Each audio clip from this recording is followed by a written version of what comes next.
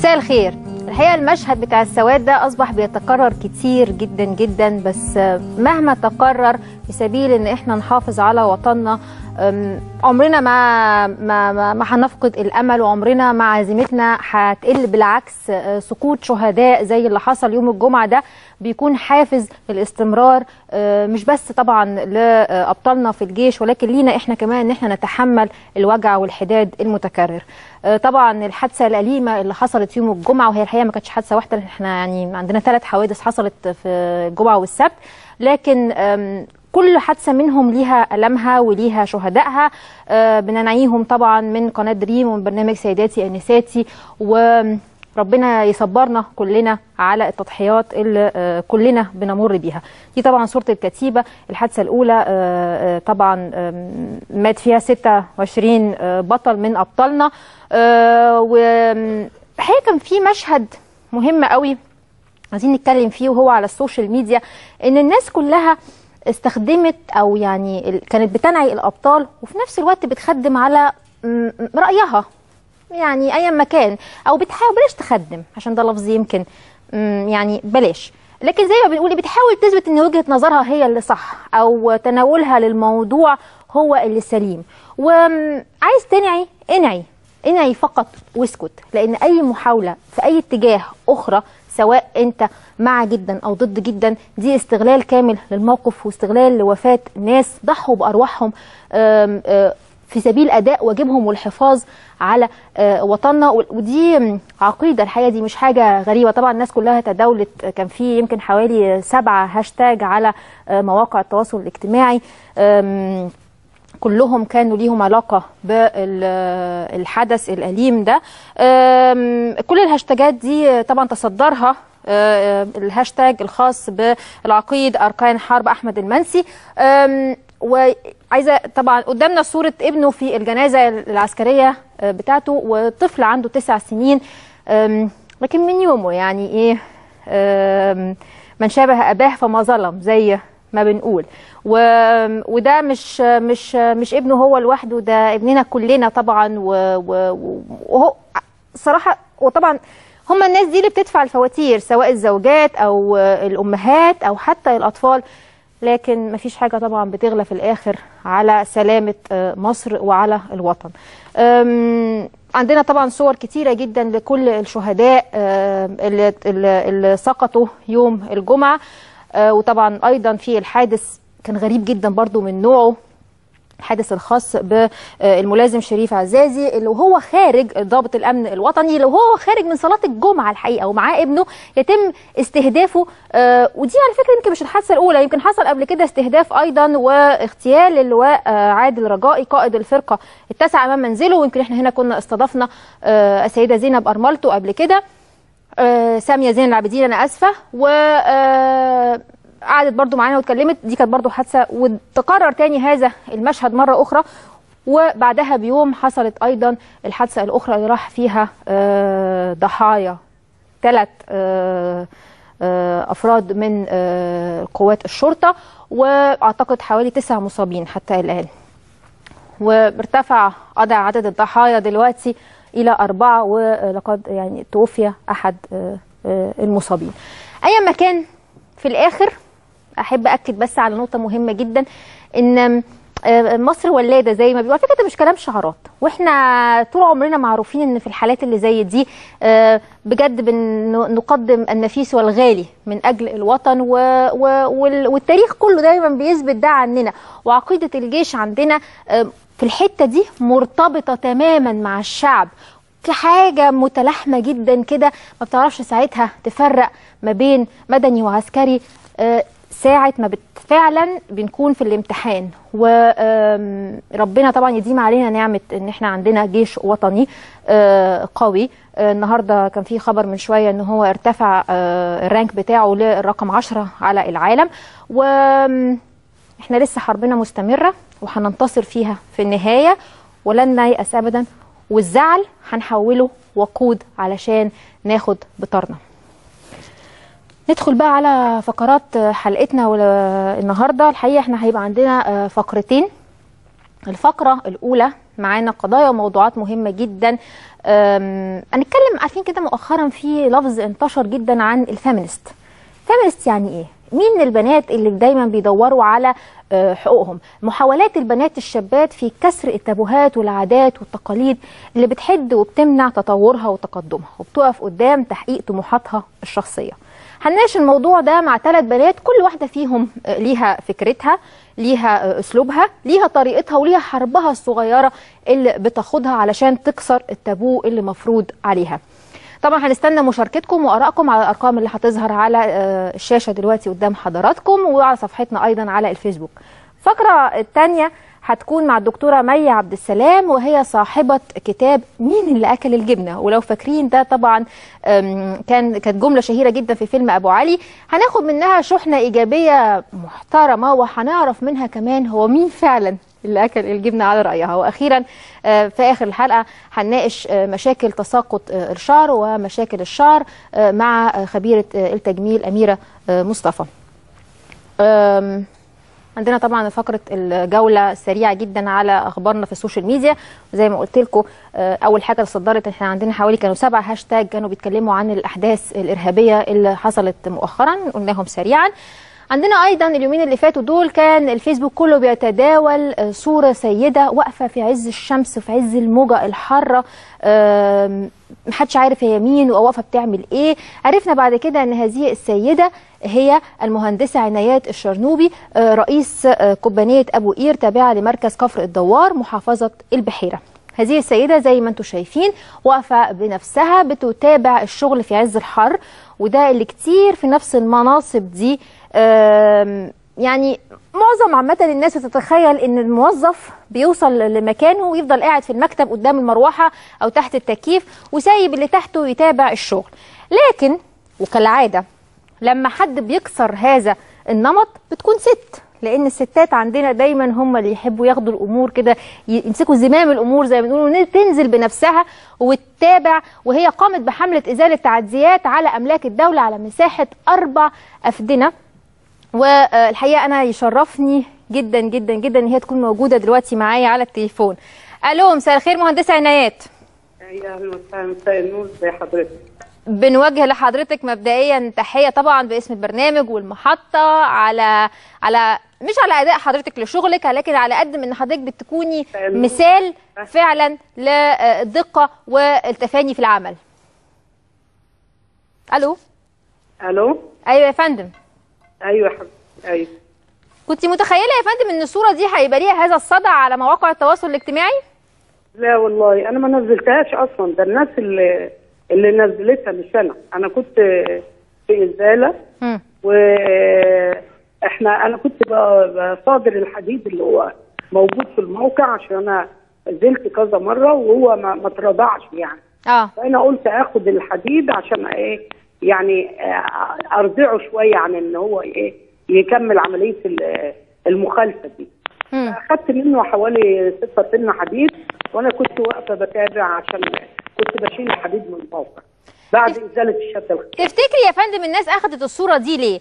عشان موظف بيقوم بمهام عمله. للأسف الخط قاطع هنحاول نكلمها مرة آه، تانية. آه، يعني طبعا عايزين يا ريت نحاول آه، إن إحنا نتواصل معاها مرة تانية. هيفضل حتى أبد الابدين ولغاية تغيير النظام ده. الثانوية العامة هي البعبع اللي مش بس بيخوف الطلاب لا كمان بيرعب بيرعب الأهالي. بيفضلوا في رعب ده لغاية أما النتيجة تطلع. طلاب الثانوية العامة بمجرد ما خلصوا الامتحانات عملوا هاشتاج على الفيسبوك بعنوان وداعا الثانوية العامة. وابتدى الطلاب كلهم ينشروا تعليقات وصور كوميدية تحت الهاشتاج ده. في طلاب كتير جمعوا كل الكتب اللي ذاكروها طول السنة وطلع طول الكتب دي أكتر من مترين. في طالب بقى قرر إن هو يجمع الكتب والملازم ويرش عليها بنزين ويحرقها. الحقيقة في فيديو إن يعبر عن شيء يعبر عن قد إيه يا جماعة إن إنه أكيد النظام ده عقيم إنه يوصل بطالب اي مكان إنه يحرق المعرفة. لأن هو كتاب آه كتاب مدرسي وكل حاجة لكن في معلومات آه، مفيدة ودقيقة وأكيد هتفيده على مدار حياته. جايز إحنا في ساعتها ما بناخدش بالنا لكن حقيقي آه، الحاجات اللي بناخدها في سنين المدارس دي هي اللي بتثبت في نافوخنا لغاية أما نكبر. ف آه، ده دليل واضح الحقيقة على غالبا فشل هذه المنظومة إن إحنا نوصل لهذه الدرجة إن الطفل إن الطالب ده يحرق تماما. كتب آه، ينال منها في الآخر بعض من المعرفة. رجع تاني معانا المهندسة عنايات. مساء الخير. مرة تانية. أهلا بحضرتك. بقول لحضرتك تفتكري الناس صورت حضرتك ليه؟ هل علشان آه، موظف بيقوم بمهام عمله ولا علشان حضرتك واحدة ست؟ لا والله أنا أنا رئيس قرية من زمان يعني بقالي أنا بقالي حوالي سنتين أو ثلاثة رئيس قرية. آه. وأنا يعني صورت عادي الناس.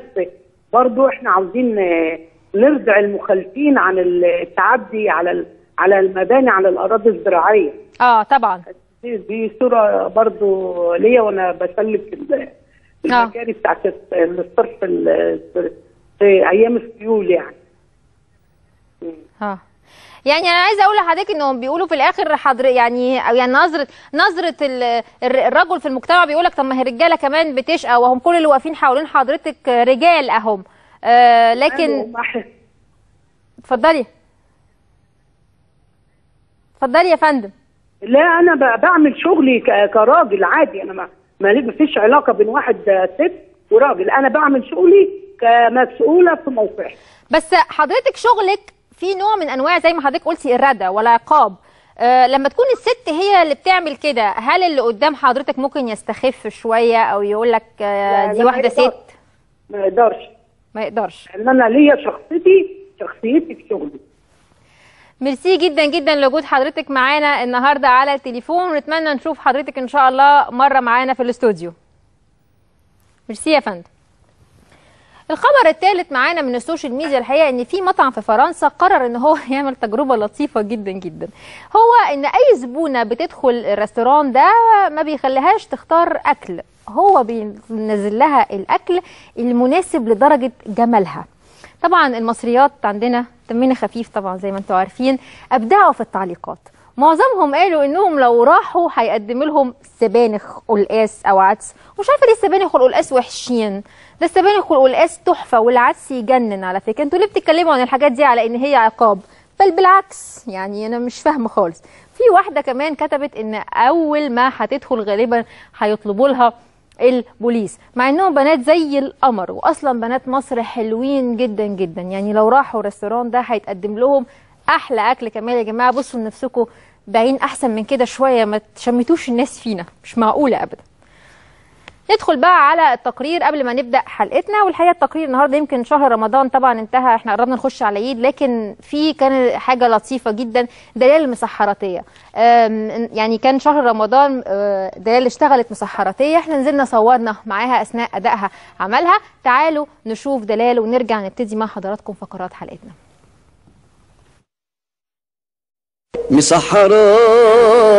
مسحراتي أنادي أهل الزمن من قراتي ألاقي أهل المدينة. كل سنة وأنتم طيبين يا حبايبي وحبايب رمضان. رمضان كريم ويحب كل كريم. فكرة التصحير ديت جات لي من أخويا الله يرحمه. كان موظف حي بسيط في البلدية وكان بيسحر وكان بيغني زمان. في الأفراح والذكر والأنشدة الدينية. وكنت بنزل معاه في موضوع السحور دوت وكنت بلبس العباية الجديدة اللي بيجيبها لي وهو كان بيروق ال- العجلة كده والفوانيس والكلام دوت.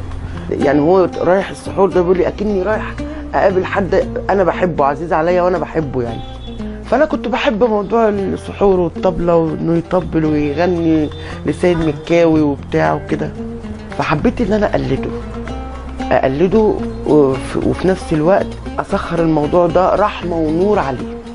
بر وتقوى مدفع يضرب طبلة في عز الليل بتقول أنا عامة أنا يعني فيا شيء من الجراءة شوية والمغامرة. بحب المغامرة قوي يعني. وتاني حاجة إحنا من صغرنا شقيانين واخدين على الشقة. هي القاسية شوية عليا يا صهبجية. عايزين شوية حاجة من اللي هي. حبة على عيني على ليلي على طرى ليلي. أنا بقالي ست سنين بسحر بإذن الله تعالى وهنزل السنة الجاية واللي بعديها واللي بعديها ولحد ما أموت وفيا نفس هعمل نفس الشيء اللي كان أخويا بيعمله وبيحبه وبيساعد بيه الآخرين. أنا أقول لكل ست جدعة وأصيلة كده وحابة إن هي مثلا تساعد نفسها وتسعد اللي حواليها إن ما دام مش اي, شيء عايزة تعمليه صح وفي, وفي المظبوط ما دام لا يعيبك ولا يخلك ولا يخدشك اعمليه. اعمليه وانت عارفة وواثقة إن ربنا هيقف جنبك ما دام قصده خير وما دام نيتك خير. مسحراتي منقراتي بنده ونادي على ولاد بلدي. وأنا صنعتي مسحراتي في البلد جوال. مسحراتي أنادي أهل الزمن منقراتي ألاقي أهل المدينة.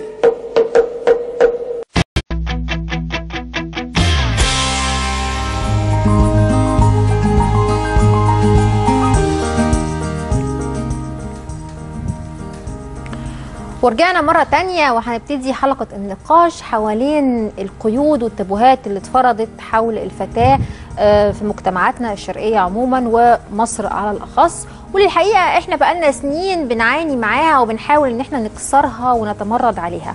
آه، لدرجة إنه حاليا في آراء كتيرة بتقول الستات مش عايزة حرية لكن هي عايزة إن الراجل هي اللي حريته إيه يتم تقييدها.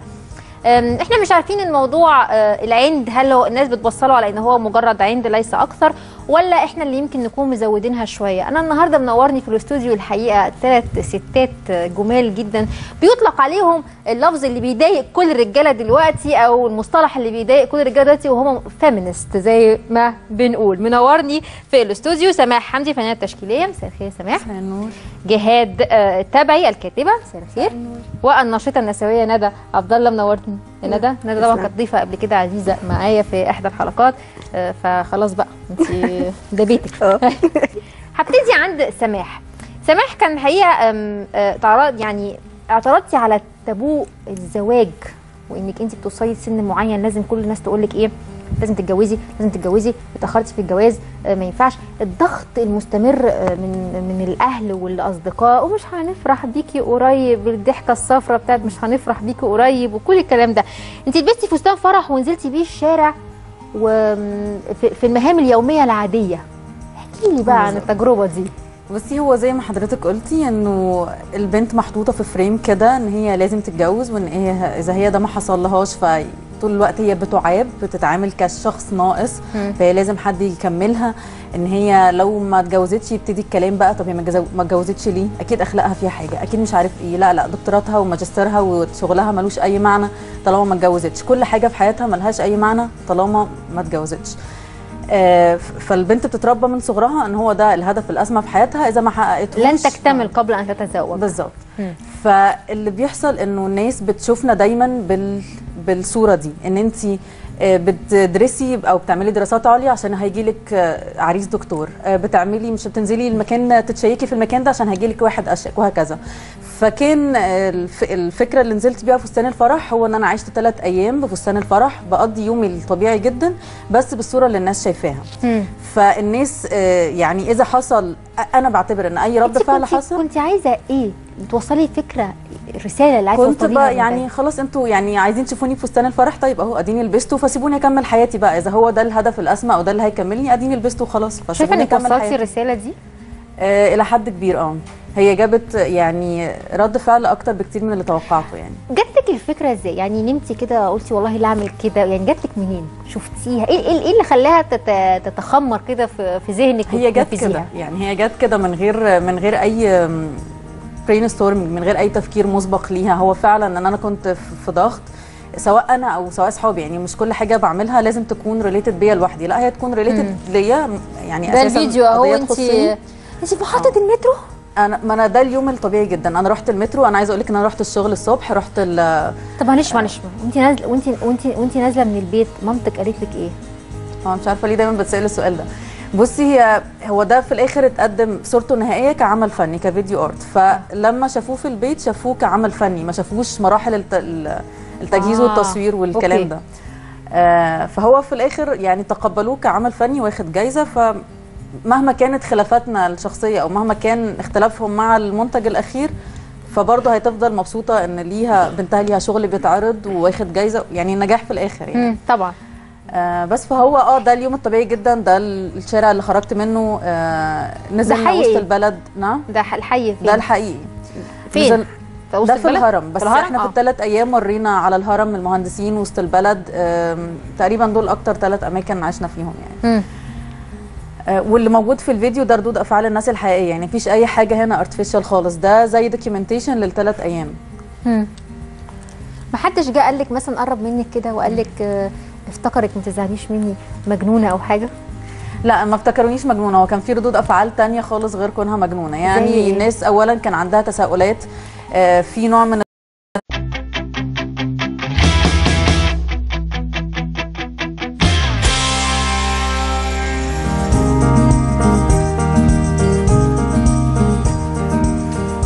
ورجعنا مرة تانية. وعايز أسألك يا سماح الناس لما شافتك كده ما حدش جه لك مثلا يا عيني يا بنتي انت مجنونة مثلا أو العريس مثلا سابك ليلة الفرح فهربت منك؟ عارفة يعني معظم الناس ممكن تفكر كده ما خدتيش رد الفعل ده؟ آه، بصي هو ردود الأفعال كانت على مستويين. المستوى اللي حاصل وقتها آه، وقت ما كنا في شارع الثلاث أيام دول وفي مستوى تاني بعد ما الموضوع انتشر على. ال social media. مم. وقت ما كنا في الشارع في بصي حسب من مكان للتاني. في مثلا الناس الكبيرة اللي هي نازلة تعمل shopping أو كده دول كانت حياتهم focus دول واقفين بس يتفرجوا أو عايزين يشوفوا إيه بقى؟ يعني مم. هي بتعمل إيه؟ أو إيه الموقف يعني؟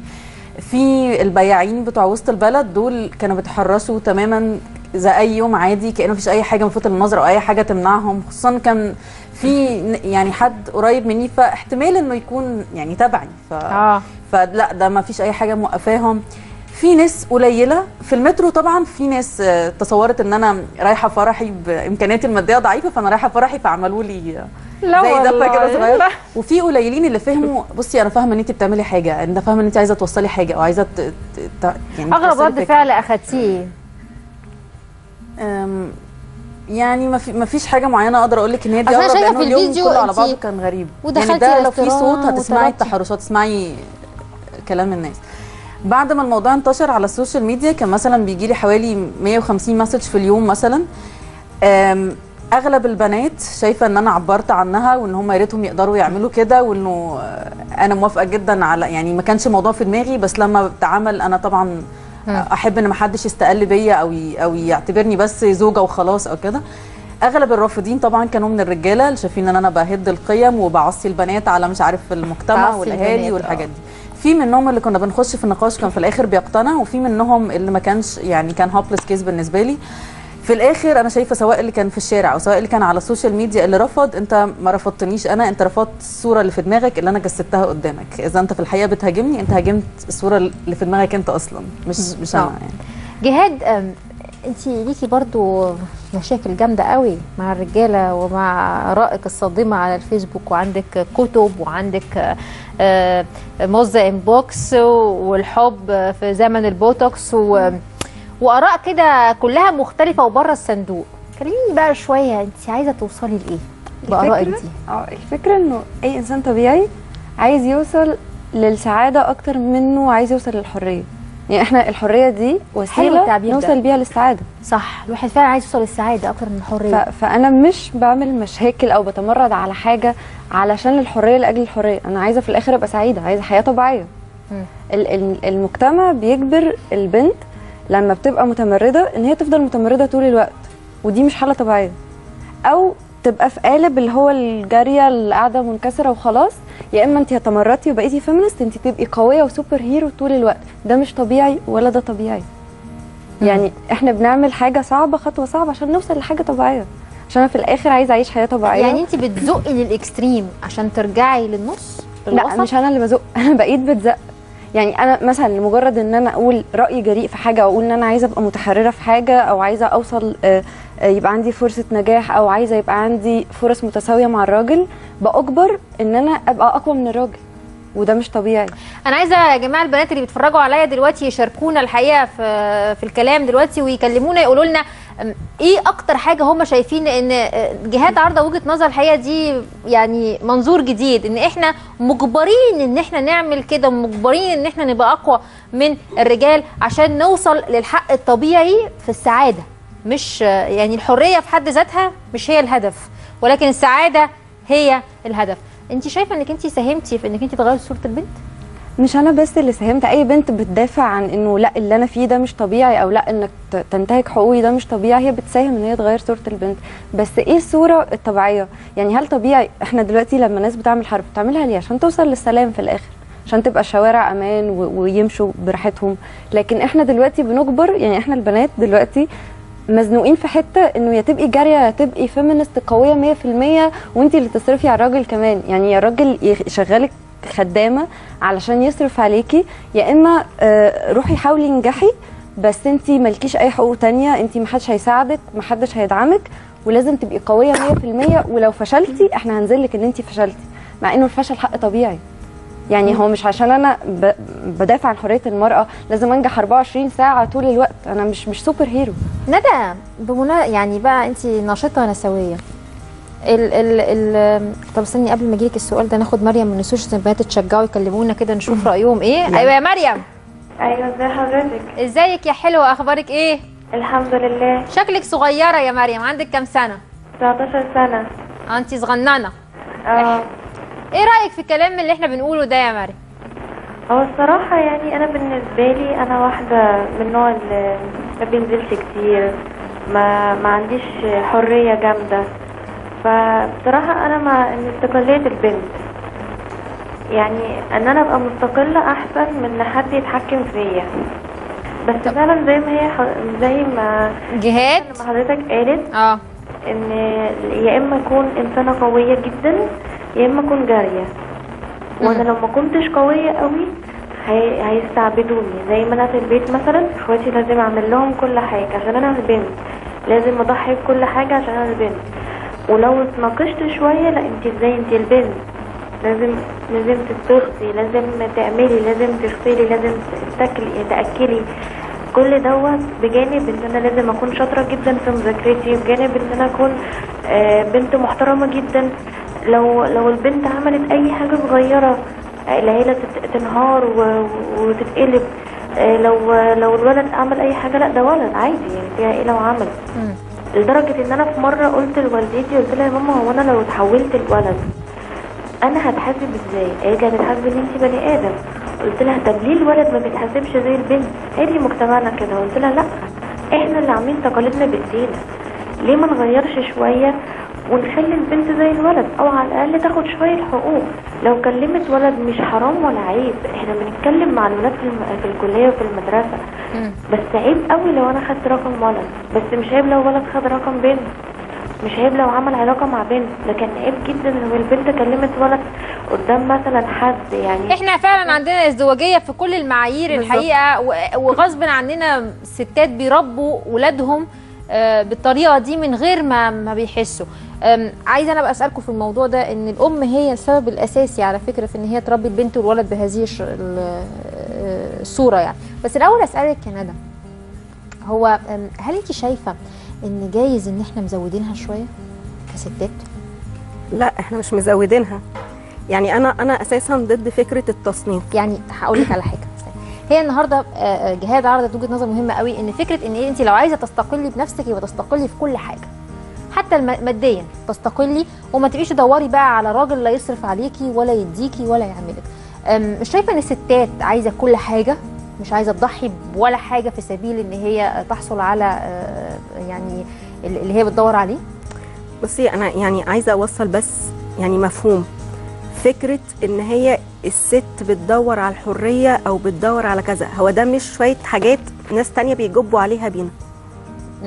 فطول الوقت إحنا يعني في للأسف إحنا في مجتمعات اللي هي فيها فكر ذكوري يعني بالذات فيها فكرة الأم هي اللي بتربي هي هي الأم واخدة الفكر الذكوري فبالتالي طول الوقت بنجاهد في حاجة علشان نوصل للحد الطبيعي في الحياة. ما هو ده الحد الطبيعي إن البني آدم يعني إحنا كستات نتعامل على إن إحنا بني آدمين. مش عشان أنت ست وست وراجل. فكرة إن إحنا بني آدمين. يتم التعامل معانا في الشغل في الشارع في ال- في المدرسة في أي مكان في وسط أصحابنا وفي وسط الناس إن إحنا بني آدمين. مش فكرة إن أنت ست وأنت راجل. يعني ما يتمش تقييمنا على الأساس دوت. فبالتالي لأ مفيش ح... مفيش حاجة اسمها إحنا مزودينها. إحنا إحنا عايزين نوصل للمرحلة الطبيعية في الحياة. إحنا عايزين إيه؟ إحنا عايزين إيه كستات؟ إحنا عايزين نبقى بني آدمين. في مجتمع لا، عايشين بني عايشين الكلام ال abstract. لا لا اديني كلام على أرض الواقع الناس تفهمه. لأن عارفة طيب. الكلام ال abstract ده اللي ما بنقوله آه، بيترد عليك ردود فلسفية زيادة عن اللزوم برضه. حلو حلو. محدش يتعامل معانا بعنف محدش يضايقنا في الشارع محدش يجي يقول لنا اعمل وما تعمليش على أساس إن انت بنت. يعني مريم مثلا ن- نموذج من البنات اللي هي ممكن كمان يكون بيتعامل بي بي يعني غيرها من البنات بيتم التعامل معاها بعنف في البيت. لو هي طلبت إن هي مثلا تنزل تروح مش عارفة فين ولا تعمل إيه زيها زي إخواتها. ممكن يتم التعامل معاها بعنف يضربوها. لكون إن هي بنت. في حين ان نفس الفعل ده لو اتعكس من ولد ماشي آه، يبقى طبيعي جدا. ده عادي جدا عشان أنت ولد. فبالتالي أ- يعني هي في فكرة طبعا إن إحنا نتفهم فكرة آه، مخاوف الأهالي. ده لازم تكون محطوطة في أرض الواقع وده لازم المخاوف دي على فكرة بتسي على. الولد والبنت. بالظبط. بس ال- الحاجتين واحد. يعني الولد أنت ما بتتأخرش وأنت ما تتأخريش. ليه؟ عشان ال- الشارع مش آمن. ليك وليها. مش عشان انت بنت ما تتاخرش فهي فكرة المساواة الحقيقية الإنسانية. ده اللي عايزين نوصلها. إزاي بقى ليها طرق كتير؟ يعني نكسر بقى فكرة الأفكار. آه حلو إن إحنا نصدم الناس في أفكارهم. زي مثلا ما سماح عملت. زي ما جهاد بتعمل. زي ما أي حد بيعمل كده بي- بيصدم الناس في أفكاره. ال- الطبيعي ده مش هو الطبيعي. يعني المنتشر ده مش ده الطبيعي. الطبيعي اللي إحنا بنحاول نوصل. طب سامح انت كان ليكي أيضا فيديو بيتكلم عن العنف ضد المرأة مش كده؟ عملتيه بزاوية مختلفة ح- هنشوفه وإحنا بنتكلم بس كلميني عنه. آه، أوكي. آم، بصي أنا شايفة إن ال- الستات هنا بتتعرض لنوعين من العنف مش نوع واحد. النوع ال- المباشر المتعارف عليه مجتمعيا كعنف بصرف النظر عن رد فعلنا ناحيته زي الضرب والتحرش والعنصريه في الشغل. ده ده النوع اللي إحنا متعارفين عليه كعنف. النوع الثاني اللي هو بيمارس تحت سلطة أبوية بشكل ناعم جدا بهدف إن إحنا خايفين على مصلحة الست. اللي هو حطي بقى title التحكم في الست في كل حاجة. في لبسها في أفكارها في نمط حياتها في نمط تفكيرها في طموحها في شغلها في كل حاجة في الدنيا هي يعني بيتم التحكم فيها باعتبارها شيء باعتبارها شنطة. أنا أحط فيها اللي أنا طب مش. جايز فعلا خايف؟ سواء أب أو أم؟ هي الفكرة إنه يعني انت ما بتعاملش البنت في اللحظة دي كبني آدم انت بتعاملها كتابع ليك أو استمرار ليك في حين ان هي كائن مستقل عندها افكارها وطموحها ومواهبها وحاجات بتحبها وحاجات ما بتحبهاش تعملي على إنها كائن ناقص بالظبط ما. ينفعش ان انت تحطها في دايرة واحدة هي دي بس اللي تتعامل لا انت مش من حقك تشتغلي كذا انت مش من حقك تحبي كذا مش من حقك ت... آه لا لازم تلبسي بالطريقة دي انت الملامة على كل حاجة غلط انت الملامة على ابنك اللي ما طلعش كويس انت الملامة على الشخص اللي بيتحرش بيكي انت الملامة على الشغل اللي ما مشيش كويس وه... هي الشخص المخلص لأخطاء المجتمع كله وبالتالي المجتمع عايش في صورة يعني إن هم تمام وزي الفل هي اللي غلطانة في كل حاجة. هي سبب كل المشاكل اللي إحنا بتحصل لنا. أوكي؟ فده آه، النوع ده من العنف اللي بيمارس بشكل بديهي أو بشكل بس النوع حق التاني يعني- ده أصعب الأنواع اللي ممكن إنك أنت تواجهيها لأن إحنا عندنا موروثات كتيرة جدا في مجتمعنا بتدي الأهل الحرية المطلقة إن هم يتحكموا في حياة ما هي بناتهم. ال- الموروثات دي اولا عملها أشخاص ماتوا من زمان في ظروف تانية خالص غير ظروفنا. كلمة تقاليد أو أو موروث بتخلي العايشين يعيشوا بطريقة الميتين مش العكس. دي أول حاجة. الحاجة الثانية إنه الأفكار والموروثات والتقاليد دي كلها فكرة. فكرة اتوجدت في ظروف فالفكرة دي إحنا نقدر نغيرها هي مش حاجة مسلم بيها مش دين آه و... يعني حتى طريقة التعامل مع الاديان يعني يعني. علينا بصرف النظر عن الموضوع ده المهم ف... فأنا كنت بتكلم هو الفيديو قدامنا دلوقتي آه. انت هو ده العكس أنا كنت ده, ده تاني داي في آه. الحدث ف ممكن تشرحي لي بقى الفكرة بالظبط آه كانت إيه؟ ما أنا انت- كنت هجيلك فيها إنه ال- الحاجات ال- ال- أنواع العنف دي اللي بت- اللي بتمارس بشكل بديهي هي بالنسبة لي لأ هي مش بديهية مش حاجة بتمر مرور الكرام ده تأثيرها عليا. أنا ده يوميا بحس إنه كان في حد مسك كرباج وضربني بيه. بالوقت بحس إن جسمي وجعني مش قادرة أتحرك مش عارفة يعني مفيش حاجة عضوية فيا بس. لما براجع نفسي بلاقي إن أنا تعرضت لأنواع كتير جدا من العنف سواء المباشر أو الغير المباشر خلتني مش قادرة أخرج مش قادرة أواجه مجتمع مش, مش قادرة أعيش يعني كأني ميتة بالظبط بس هنا انت اللي بتعملي انت هو انت اللي بت... لا هو في فيديو آه. تاني مم. في فيديو تاني المفروض إنه موجود مع الأعداد في فيديو الأولاني هو هو ما ده ما كانش فيديو ده كان آه، حدث آه، live في ناس حضرته في إن أنا بتعرض ل 100 جلدة حقيقية من ولدين المفروض. الولدين دول بيربطوني في الأيكون الخشب اللي كانت موجودة وبيبتدوا يجلدوني 100 جلدة بكرابيج من أنواع مختلفة بتعلى مع العد. فده ال- اللي أنا كنت بجسد إن ده الوجع اللي أنا بحس بيه أنا هحطه قدامك زي ما هو وشوف. يعني ده ده بالظبط اللي أنا بحسه. في اليوم التاني بعديها بيومين ثلاثة أنا طبعا كنتش أقدر أعمل ده في تاني. يوم على طول. بعديها بيومين ثلاثة إحنا عكسنا الصورة. خلينا الولد هو اللي بيتجلد من اصبحتي أنت البنات اللي عنيفة؟ مش أنا اللي عنيفه أنت أنت اللي اعتمدتي بخليك- العنف. آه بخليك خليك أنت الضحية خلي الصورة معكوسه الناس متعودة تشوف ست بتتضرب مش متعودة تشوف راجل بتتضرب. حيث أو عيش التجربة زي ما أنا عشتها بالظبط. أنت هتستحمل اللي أنا بستحمله منك ولا لأ. معانا هاجر على التليفون. ألو؟ ألو؟ ألو السلام عليكم. عليكم السلام يا هاجر إزيك؟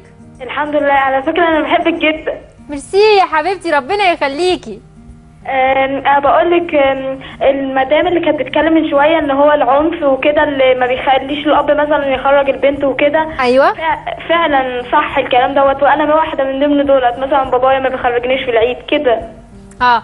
بس بس آه بس إحنا مش بنتكلم بس على الخروج يا هاجر إحنا بنتكلم عن أبسط الحقوق. حتى آه، قطع التليفون. طب معانا فاطمة؟ ألو؟ فاطمة؟ أيوه معاكي. ازيك يا فاطمة؟ الحمد لله كويس. اتفضلي يا فاطمة إيه رأيك؟ آه كلام كله مظبوط وصح بس آه، إن الإنسان يبدا بالمساواة بين المرأة والراجل بس مش لازم يكون كله صح. انت بتعملي إيه عشان تواجهي ده يا فاطمة؟ بس هي ما ينفعش نبدا بين الراجل والست في مساواة واحدة. يعني مش هينفع البنت لما تتخانق مع أهلها أهلها يطردوها ولا البيت زي ما بيعملوا مع الولد. وهو وهو ينفع برضو إن الأهل تطرد الولد؟ ما هو ما ينفعش برضو إن تطرد الولد. ما هما بيعملوا كده يعني. أنا دلوقتي هو ده غلط برضو ليه أطرد ابني يعني من البيت مهما كان؟ ليه أنا أوديه لل- للمجهول بإيديا؟ وإحنا مش عايزين نتساوي في الحاجات السلبية. وبعدين إحنا إحنا ما بنطالبش بالمساواه في الحاجات السلبية. إحنا عايزين نبقى زيهم في الحاجات الإيجابية. هو كده بقى. هي مجتمعنا كده. ما إحنا ما إحنا عايزين نغير. انت بتعملي إيه عشان تغيري ده يا فاطمة في حياتك العادية؟ بتحاولي تواجهي ده ولا ما بتحاوليش؟ أيوه أكيد بحاول. إزاي؟ يعني مثلا بحاول إن أنا ما يكونش في اختلاف بيني وبين أي ولد من دوري أو أي ولد معايا في ال- المدرسة. وما بحب ما بحبش يكون مثلا في إن ده ولد ما يعمل يعمل براحته زي ما هو عايز ولد يعمل آه، كما يحلو ليه. وأنا بنت لازم ما أتأخرش بالليل لازم أعمل زي ما الناس بس عايزين أهلك بيسمحوا لك تعملي ده؟ إيه؟ أهلك بيسمحوا لك؟ أهلي بيسمحوا لي بس دايما بيسمحوا لي في حدود مجتمعنا. تمام. ميرسي يا فاطمة جدا على تليفونك. جهاد انت كان ليكي مقالة مؤخرا عملت مشكلة جامدة جدا وإنك انت عرضتي مفهوم جديد لفكرة الشرف اللي عن غير المتعارف عليه عندنا. وان إن طبعا ناس كتير اتكلمت عن الموضوع ده لكن أنا عايزة أسمع وجهة نظرك برضو في القصة دي إن الشرف ما هواش مختزل في غشاء البكاره عند البنت ده مش معناه. إن إحنا بنهاجم غشاء البكاره نعم عشان ده مش معناه إن إحنا بنهاجم غشاء البكاره آه. عشان بس الناس اللي, اللي بتلاقيها فرصة إن هي تهاجم طب أنا. استأذنك قبل ما نكمل ناخد أوكي. بس معانا آه. الكاتب الصحفي بلال الدوي ألو ألو أستاذ بلال مساء الخير يا فندم مساء الخير يا أستاذ ازي حضرتك. أهلا بحضرتك. اتفضل يا فندم. إيه رأي حضرتك في القضايا اللي بنناقشها دي؟ مفيش مشاكل عادي. ما اللي عايز آه، استغلال البنت في مجتمعنا أصلا فكرة موروثة وفكرة آه، جميلة جدا إن هي تستقل برضه بس تكون لزوجها وتكون لبيتها وتكون لعيلتها. يعني استقلال إزاي برضه؟ محتاجة دي. وده اسمه إيه ده؟ ده اسمه استقلال إزاي يعني؟ أنا هقول لك هي مش لازم تستقل برضه استقلال يعني مثلا تقعد في أوضة لوحدها وتكتب على على الأوضة عنوان مثلا أنا مستقله ما أنت برضه هتستقلي وأنت عارفة نفسك إن أنت امرأة وبنت في الأساس ولا بد ليكي إن يكون برضه يعني في مشاركة في حياتك. أي م- مشاركة وإحنا في بينا ندية شيء ومشاركة و... وأنا واخدة ثلاث أربع خطوات ورا شيء آخر. أنا ما قلتلكيش خدي ثلاث أربع خطوات ورا. أنا قلت لك مثلا في حاجات إن آه، آه، آه، والدك لازم يكون على دراية بيها يكون يعني رأيه مهم فيها مثلا. يعني مش ممكن حضرتك مثلا هتاخدي قرار بعيد عن والدك قرار مصيري. مش ممكن مثلا لو حضرتك متزوجة هتاخدي قرار مصيري بدعوى الحريه وبدعوى الكلام الفاضي اللي حضرتك ممكن تتكلمي فيه وجوزك مثلا قاعد مثلا ملوش لازمة. وساعة الكارثة ما تحصل تيجي تقولي الحقني.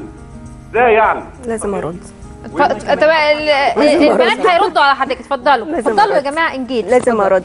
حضرتك آه، آه، يعني طرحت فكرة الاستقلال هي لازم تكون مربوطة بفكره وجود الزوج. في حين إن أنت لو حضرتك عايز تستقل في حياتك ف, ف, ف يعني ممكن تستقل عادي وتقعد في مكان عادي أو تقعد مع أصحابك عادي. مش مربوط بفكرة إن لازم يكون في زوجة. ففكرة إحنا مش بنقول يا جماعة ما يكونش في يعني ما نراعيش وجود الأهل لا الأهل موجودين لكن في نفس الوقت نراعي إن إحنا كبرنا نراعي إن إحنا ممكن نشتغل ونسكن لوحدنا نسكن مع أصحابنا نسكن مع أصحابنا البنات يعني عشان ما حدش برضو يفهم غلط. آه، ف- فالفكرة الاستقلال هي مش لازم تبقى مربوطة بحد مش لازم تبقى طول الوقت ليها خيوط حوالينا. تمام؟ لما يكون التعامل مع ال- الفتاة أو مع ال- ال- البنت هي مش مش لازم يبقى طول الوقت في وصي عليها. يبقى فكرة الوصايا الأبوية أو الوصايا المجتمعية دي لازم نخرج منها شوية. رأي حضرتك إيه يا أستاذ بلال في الكلام ده؟ أستاذ بلال؟ فصل أستاذ بلال انسحب. انسحب أصلا؟ غالبا. آه يعني هنحاول هنحاول نكلمه مرة ثانية. هو التليفون غالبا آه، قطع. طيب أنا عايزة أرجع معاكي آه، جهاد ل- ل- ل- لموضوع مفهوم الشرف وربطه بغشاء البقار كملي لي بقى الفكرة طيب اولا أنا مش بدعو يعني كلامي آه، مش دعوة للناس إن هي تعمل آه، تتخلى عن غشاء البقارة ولا دعوة للناس إن هي آه، تغير مفهومها خالص عن الشرف. كل واحد حر في مفهومه عن الشرف بس في مفهوم آه، أرقى إنه الشرف ده متعلق بالأخلاق. بتهيألي دي حاجة بديهية جدا بس إحنا بننكرها. يعني لأنه ممكن واحدة تبقى محتفظة بالغشاء وبتعمل حاجات أسوأ كتير قوي من مش محتفظة بالغشاء. بس ده مش معناه إنه إحنا أصلا مش في مكانة إن إحنا نقيم لا دي ولا دي. واللي مجبر على فضيلة معينة وهو متراقب ومحطوط عليه ألف قيد غير اللي مجبر على الفضيلة هو اللي مجبر نفسه عليها بمزاجه. يعني انه إنه حد يدخل مكان ما فيهوش كاميرات وما يسرقش. غير حد دخل مكان؟ هو ما ينفعش أي حد عامة يدعي الفضيلة إلا لما يتعرض للإغراء من أي نوع. بالظبط. يعني يعني لو واحدة محبوسة في أوضة طول حياتها ومحدش بي ما بتتصلش بأي حد ولا حد بيشوفها دي دي هنقدر نقول عليها شريفة؟ ما هم علشان كده بيقولوا اذا إن لازم إن الست تفضل في ام ام على فكرة. ما هي ده كده مش هي كده مش شريفة فعلا لأن هي أصلا ما احتكتش بأي مغريات في الحياة عشان تتأكد هي شريفة ولا لأ. هي- وبعدين إحنا مش شرف حد. ما هم بيوفروا عليها بقى. بالظبط. بيوفروا عليها الاحتكاك بالعالم الخارجي الشرير. أنا لو شريفة أنا شريفة لنفسي. وهو الراجل لو شريف هو شريف لنفسه. يعني كل واحد شرفه عنده. أنا شرفي مش شرف راجل تاني. يعني أنا شرفي مش بتاع راجل هو بتاعي. يعني ما ينفعش نقول انه آه، شرف الست هو شرف جوزها. لا لو جوزها مش شريف وهي شريفة هي المفروض تبقى يعني مش عايزاه. مش العكس. أو جسدها مش هو. بيمن عليها إن هو معاها وهي مش- شريفة وهو مش شريف آه. لا دي نظرة جديدة دي خالص. انت حتى أكيد ناس هتكلمنا تزعل قوي من لا الكلام ده على فكرة. يعني واحد يبقى عمل كل حاجة في حياته وعايز آه، يعرف واحدة شريفة. طب اشمعنى هي مش من حقها تعرف حد شريف بنفس المقاييس اللي انت حاططها خل خل ممكن ممكن أسألكم سؤال ما تزعلوش منه؟ مم. كل واحدة منكم ترد عليا بصراحة جدا فيه. يعني هبتدي بيك يا ندى. تفتكروا إن آه، إن- يعني إنكم أنتم حابين الأفكار دي ومقتنعين بيها جدا؟ ده السبب إن إن الرجالة بتهرب؟ بتهرب؟ أو يعني ممكن يخافوا يخافوا يخافوا يقربوا منكم قوي أو يخافوا يرتبط؟ مش أنتوا بس أنا بك مش مش أنتوا شخصيا. فاهمة؟ القوة أنا بتكلم إن البنت لما بتكون يعني هي شايفة إن الأفكار دي أفكار آه، معتمداها جدا ومقتنعة بيها. دي متهيألي عنصر طارد لأي رجل. مش طارد اللي عايز يطرد يطرد اللي عايز يبعد يبعد. مش مش؟ هنمسك في حد. آه بالظبط لأن هي الفكرة مش فكره بالسلامة. اللي عايز يتعامل معايا على إني حد يعني بني آدم وقوي وليا دماغي وليا تفكيري وليا شغلي وليا حياتي. فخلاص أهلا وسهلا في دايرة معارفي في دايرة أصحابي في دايرة الناس في دايرة أحبائي. لكن اللي يتعامل؟ معايا من منطلقات تانية اللي انت بتعمليه ده على فكرة حاجة تخوف جدا عارفة ليه؟ لأن البنت لما تبقى متصالحة جدا مع نفسها وقابلة نفسها وما بتحورش زي ما بيقولوا وما بتمثلش علشان تصطاد الراجل زي ما بيقول أو أو أو أو تسوق لل للمتعارف عليه لا عايزة أقول لك على حاجة. آه، آه، معظم الرجالة كده في بلدنا إن شاء الله والبلاد اللي فيها أفكار آه، ذكورية زي ما إحنا عندنا كده بينجذبوا جدا للست القوية جدا. بس يجي بقى يتجوزها يخاف. يخاف جدا. يبتدي لا يقول أنا ممكن نبقى أصحاب مش عارفة نبقى إيه يبقى يتمنى إن تبقى في دايرة معارفه. لكن فكرة ياخد الخطوات التانية يبتدي يخاف ليه؟ علشان بقى فكرة الازدواجية. يعني الازدواجيه بقى اللي جواه دي بتبتدي تظهر. لا أنا إزاي إزاي اتجوز واحدة تبقى قوية؟ إزاي دي هتعمل إيه معايا بعد الجواز؟ مش عارف إيه الكلام ده. بس أنا عايزة أعلق على نقطتين آه، مش قبل. ما نتنقل الجزء اللي هو آه، خاص بجهاد اللي هو مفهوم الشرف. خلينا نستكمل آه، معاها فكرة إن الشرف دايما مربوط عند البنت بغشاء البكاره إنما عند الراجل فكرة الأخلاق والمثل العليا والكلمة والمش عارف إيه والجدعنة وكل الكلام. بيبقى مفهوم بمف... مربوط بمفاهيم. عند الرجالة عند البنت مربوط بفكرة غشاء بكاره موجود أو مش. موجود لا يبقى خلاص هي كده شريفة أو مش شريفة. بيتم التعامل مع جسمها على انه ملك المجتمع اللي حواليها. تمام؟ فبالتالي بي بي بي يعني زي ما ما سماح قالت فكرة التشييء التعامل مع الستات على إنها شيء آه. شال وتتحط وتتعمل هي بتاعتنا ملك ملك العيلة وملك الأسرة وملك المجتمع. مم. دي نقطة. النقطة الثانية في نقطة خطيرة جدا وبيتم التعامل على أساسها في كل أنواع العنف. العنف الزوجي العنف الأسري فكرة الأديان. فكرة إن المجتمعات اللي هي بتتناول فكرة آه، آه، آه، العنف على أساس الدين. آه آه. مش الدين هو اللي غلط. هي بتربطه بيه آه أو بالظبط. بتاخده آه، آه، زي فكرة الختان.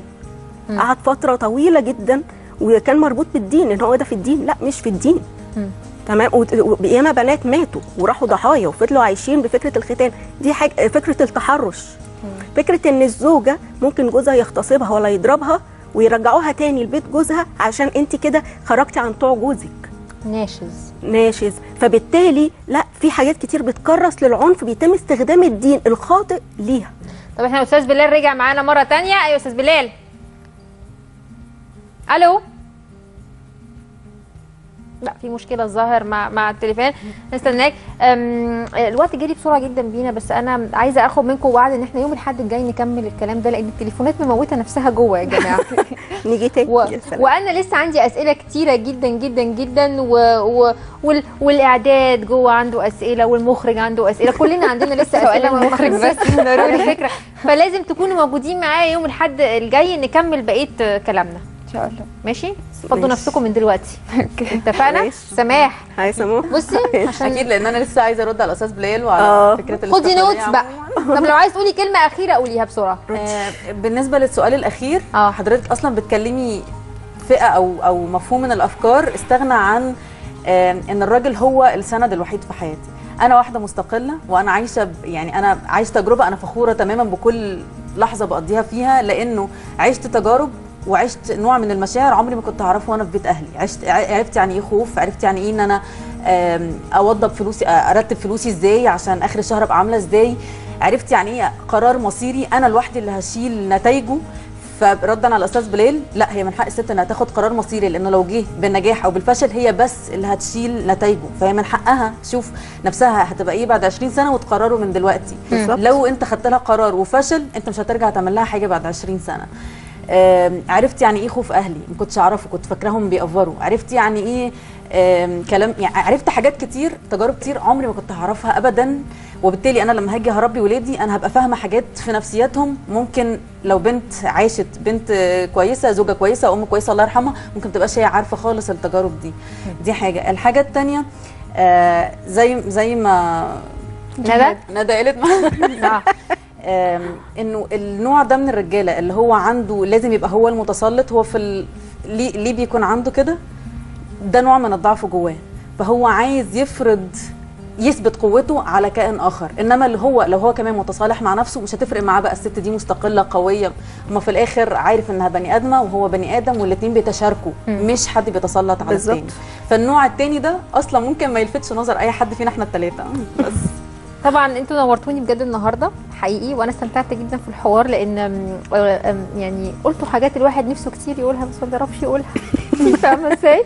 وهستناكم الأسبوع الجاي وهستنى أستاذ بلال الأسبوع الجاي برضو يعمل مداخلة تانية معانا وطبعا كل الرجال برضو اللي عندهم اعتراض على الكلام ده والمنبر مفتوح عشان كل واحد يقول اللي هو عايزه. نورتوني سيداتي يا نساتي فاصل وهنرجع نكمل مع حضراتكم.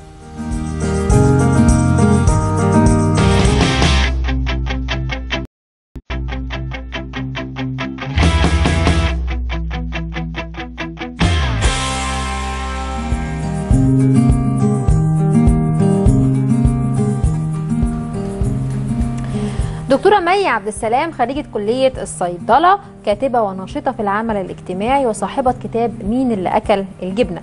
ليها مقالات في جريدة الجمهورية بعنوان فيها حاجة حلوة بتعرض فيها النماذج الإيجابية للشباب وصاحبة مبادرة إيجابيون ومؤلفة مسلسل عائلة رمضان كريم. منورانا في الاستوديو دكتورة مي بنورك يا حبيبتي. الله تحبي نقول لحضرتك بقى دكتورة ولا كاتبة ولا سيناريست ولا نبتدي منين؟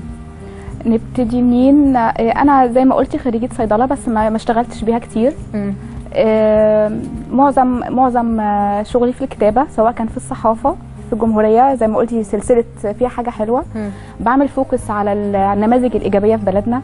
سواء كانوا شباب آه، شباب بيشتغلوا في في التكافل الخيري أو العمل الاجتماعي أو حد كان عنده حلم وكافح لحد ما يحققه يعني بحارب السلبيات بسلاح الإيجابيات. يعني بدل ما أعمل focus على السلبيات بعمل focus على الإيجابيات. دي سلسلة فيها حاجة حلوة. مم.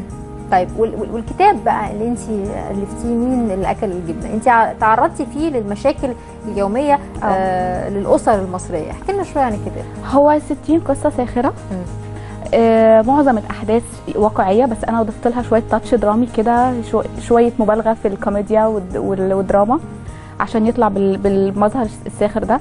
معظمها مواقف حصلت بيني وبين ولادي. و... و... و... وبعدين أنا كان عرضت كذا مرة على مخرج إن إحنا نعمله مسلسل الكتاب ف... فعرضت على محمد دندراوي. فهو بالفعل كلمني إن إحنا ناخد شوية حلق شوية قصص منه. نفصلها على شخصيات آه، عائلة رمضان كريم. آه. بس الحقيقة هو اتفاجئ بإن أنا طلعت له قصص تانية أفكار تانية خالص بره الكتاب. وضفنا بقى الحلقات في عائلة رمضان كريم. هنتكلم بقى عن آه، آه، تجربتك في السيناريو مع رمضان عائلة رمضان كريم. احكي لنا شوية انت انت طلعتي قصص جديدة بتقولي طلعت قصص جديدة بره الكتاب خالص بره الكتاب. آه. قد كده الحياة حواليكي سرية بال بالأفكار؟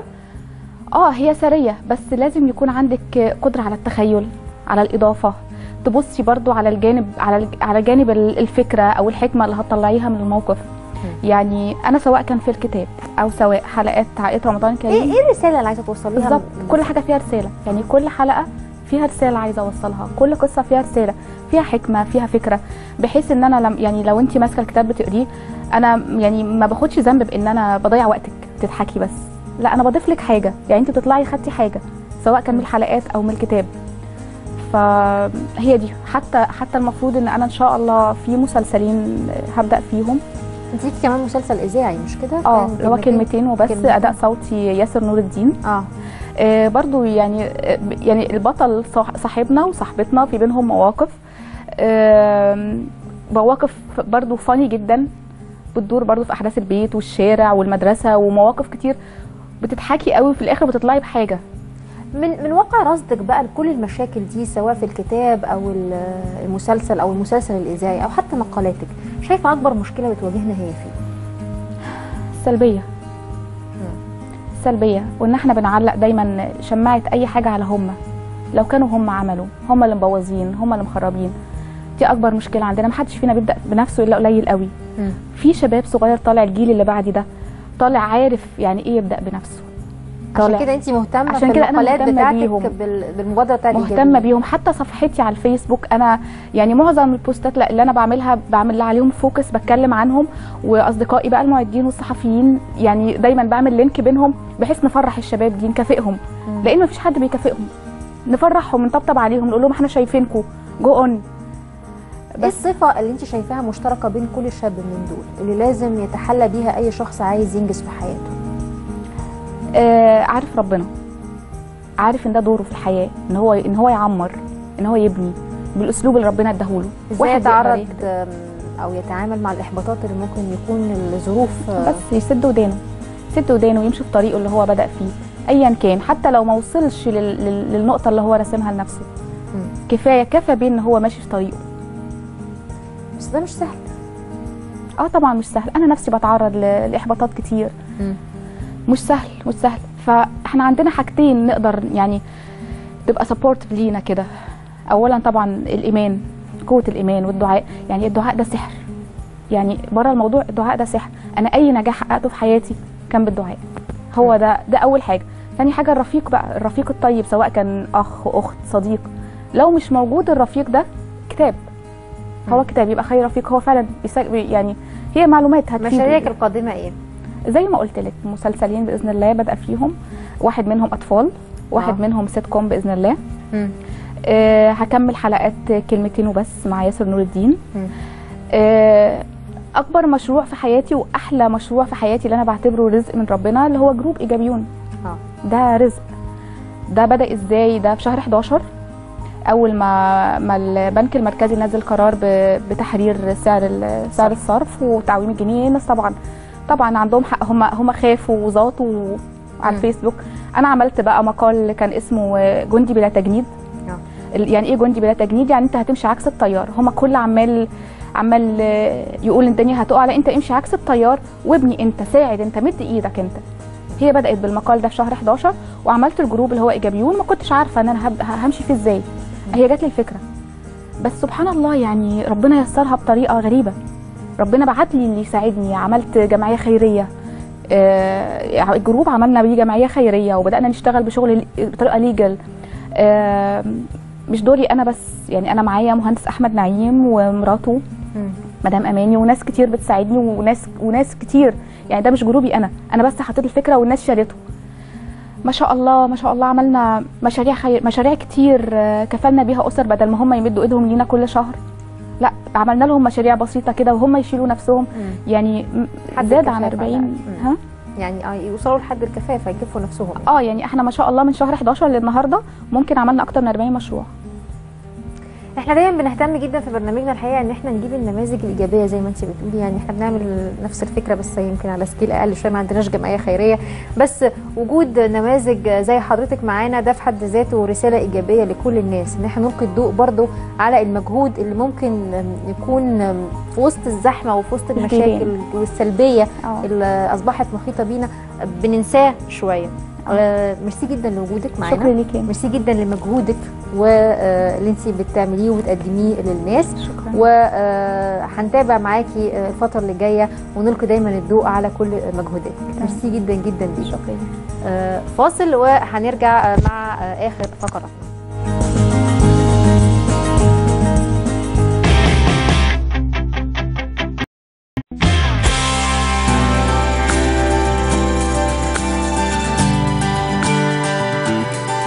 أول حاجة عاوزين نتكلم عن الأجهزة اللي بتستخدم في السمنة الموضعية. عندنا في جهاز cryo وفي جهاز ال cavitation في جهاز ال RF وفي جهاز الليزر.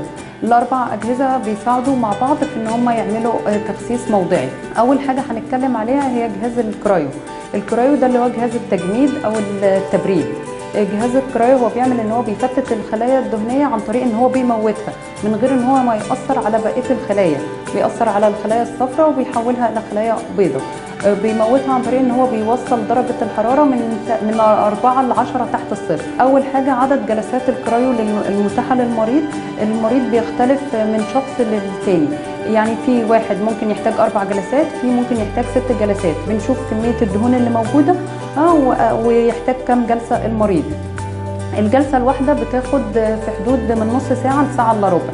ممكن أعمل جلسة على أكتر من منطقة. يعني إحنا بنقسم لو سي مثلا البطن إحنا بنقسمها لمنطقتين ونعمل جلسة للجزء ده وجلسة للجزء ده وممكن نعمل منطقتين وثلاثه في نفس الجلسة. جهاز الكرايو هو جهاز آمن ومتاح لجميع الأشخاص ومتاح للسن من أول 16 وإحنا آه طالعين آه، فيما فوق بالنسبة لجهاز الكرايو هو ما فيش منه أي أضرار وما فيش أي مشاكل بس في ناس ممنوع من إن هم يعملوا cryo جلسات cryo اللي هو الحامل أو الشخص اللي هو عنده هو فتق في بطنه مثلا فما ينفعش إن هو يعمل جلسة أو الشخص اللي هو عامل عملية من خلال ست شهور آه، فما ينفعش. أو مريض ال Raynaud's واللي هي الأطراف اللي بتزرق. آه، مريض ال Raynaud's ده هو مريض آه، اضطراب في الأوعية الدموية فعنده أطراف إيده بتبقى زرقاء لأنها ما بتتحملش درجة البرودة اللي إحنا بنوصلها للجهاز.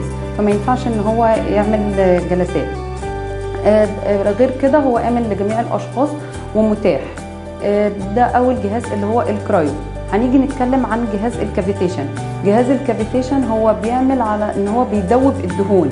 بيدوب الدهون عن طريق الموجات اللي بتطلع منه. هي بت- بتكسر في جدران الخلايا الدهنية وبتعمل على اذابتها فتنزل في عن طريق ال- البول أو عن طريق ال- العرق. جهاز ال cavitation هو جهاز آمن ومتاح وبيستخدم الجلسة مدتها تلت ساعة. وبتختلف طبعا من شخص للتاني في عدد الجلسات. جهاز ال cavitation من الأجهزة ال- المهمة اللي بتعالج ال- بتشد بتقلل الدهون في منطقة البطن وتشد البطن. فمثلا ممكن نستخدمه في حالات تكيسات المبايض. مبايض فدي بتبقى من الأماكن اللي فيها سمنة موضعية.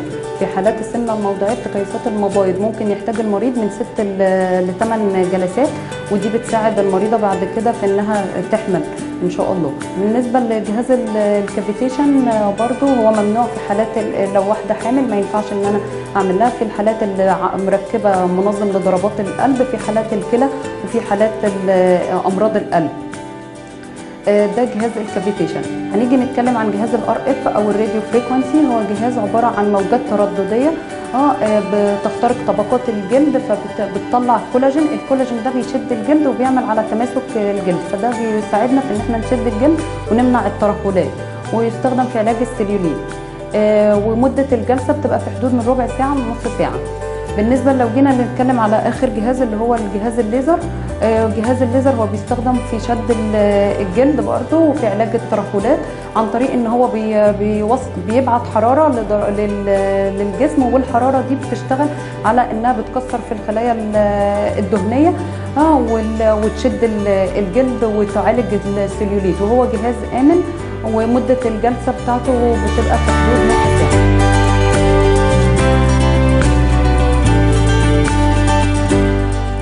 دلوقتي هنتكلم بقى عن جهاز ال cryo هنعمل بيه جلسة cryo دلوقتي لل patient اللي قدامنا. آه، طبعا هي قبل الجلسة لازم تكون شاربة لتر مية آه، قبل الجلسة في حدود أربع ساعات. وبعد الجلسة برضو بتشرب لتر مية وبتتحرك عادي وبتمارس آه، حياتها عادي طبيعية ما فيش أي حاجة. دلوقتي هنعمل جلسة ال cryo. دي ال head بتاعت ال cryo.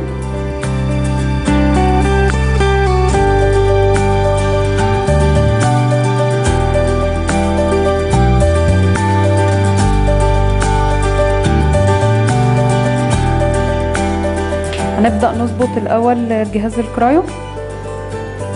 إحنا بنظبط هنا في تمبريتشر اللي هي درجة الحرارة وبنظبط الوقت اللي إحنا محتاجينه.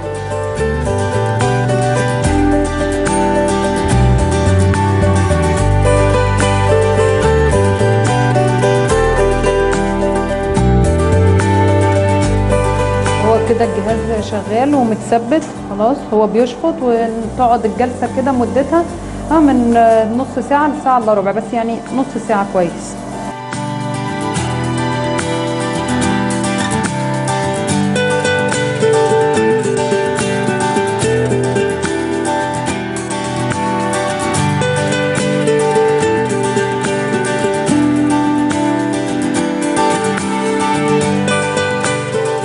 آه، دلوقتي إحنا عملنا كده جلسة كرايو على نهلة معانا. آه ودلوقتي هي هتقدر تقوم عادي وتمارس آه، كل نشاطاتها بس هتشرب آه، مية لتر مية آه، بعد الجلسة والجلسة هتحس بتأثيرها ون- ونتائجها على مدار 90 يوم وبنكرر الجلسة كل ثلاث أسابيع. فإن شاء الله بعد ثلاث أسابيع تيجي نعمل جلسة تانية عشان تحس بالتأثير. ألف شكر وبنشكرك يا نهلة معانا. دلوقتي هنروح نعمل جلسة كافيتيشن على حالة تانية إن شاء الله.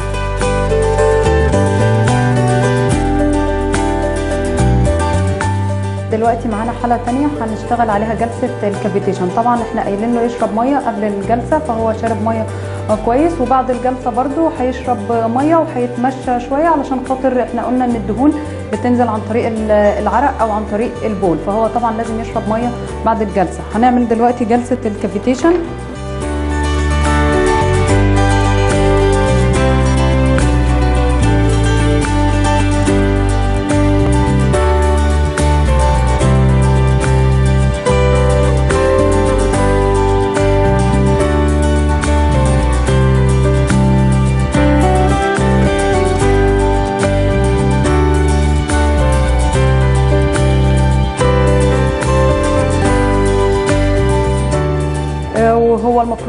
المريض هيشرب آه، دلوقتي لتر مية بعد الجلسة وهيتحرك آه، كويس علشان خاطر الدهون اللي تم اذابتها إنها تنزل في المية أو عن طريق العرق.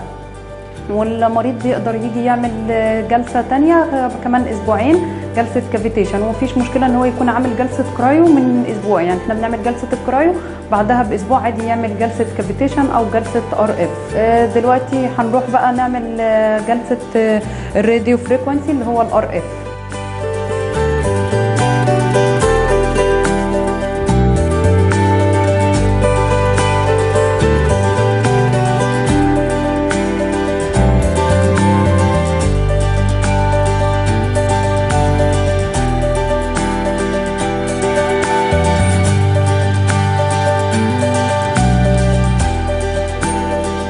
ده جهاز ال RF اللي إحنا شغالين بيه اللي بيعمل على شد الجلد و...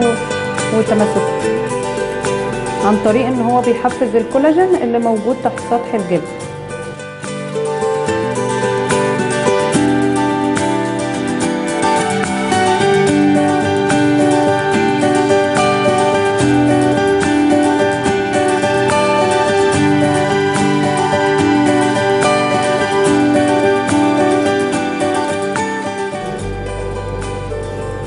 ويفضل إن إحنا نعمل جلسة ال RF بعد جلسة ال cavitation ومدتها بتبقى ربع ساعة من ربع لنص ساعة. وبكده نكون عملنا جلسة ال RF ويفضل إنها تكون بعد جلسة ال cavitation عشان المريض يحس بالتأثير بتاعها وهي الجلسة بتقعد من ربع ساعة لنص ساعة. آه، دلوقتي هنعمل الليزر اللي هو بيعمل على شد الجلد ومنع الترهلات وبيستخدم في علاج السليوليت عندنا في أكتر من هيد للليزر هناخد هيد نشتغل بيها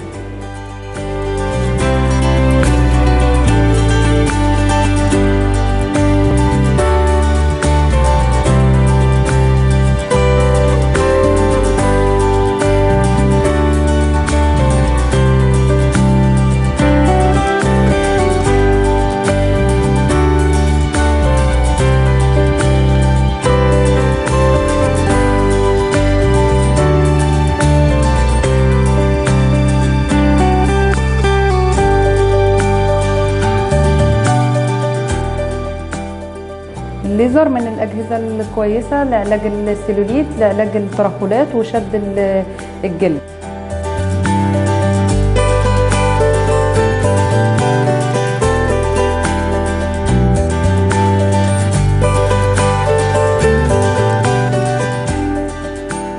وبكده نكون خلصنا جلسة ال- الليزر وكده عملنا جلسة cryo وعملنا ال cavitation عملنا ال RF وعملنا آه، الليزر. آه، كل الأجهزة متاحة عندنا في مركز نبض في طنطا. آه ونشكر آه، الحالة اللي معانا. وهو الجهاز بينفع عادي سواء كان ميل أو فيميل يعني راجل أو ست. مفيش منه أي أضرار ومفيش منه أي مشاكل.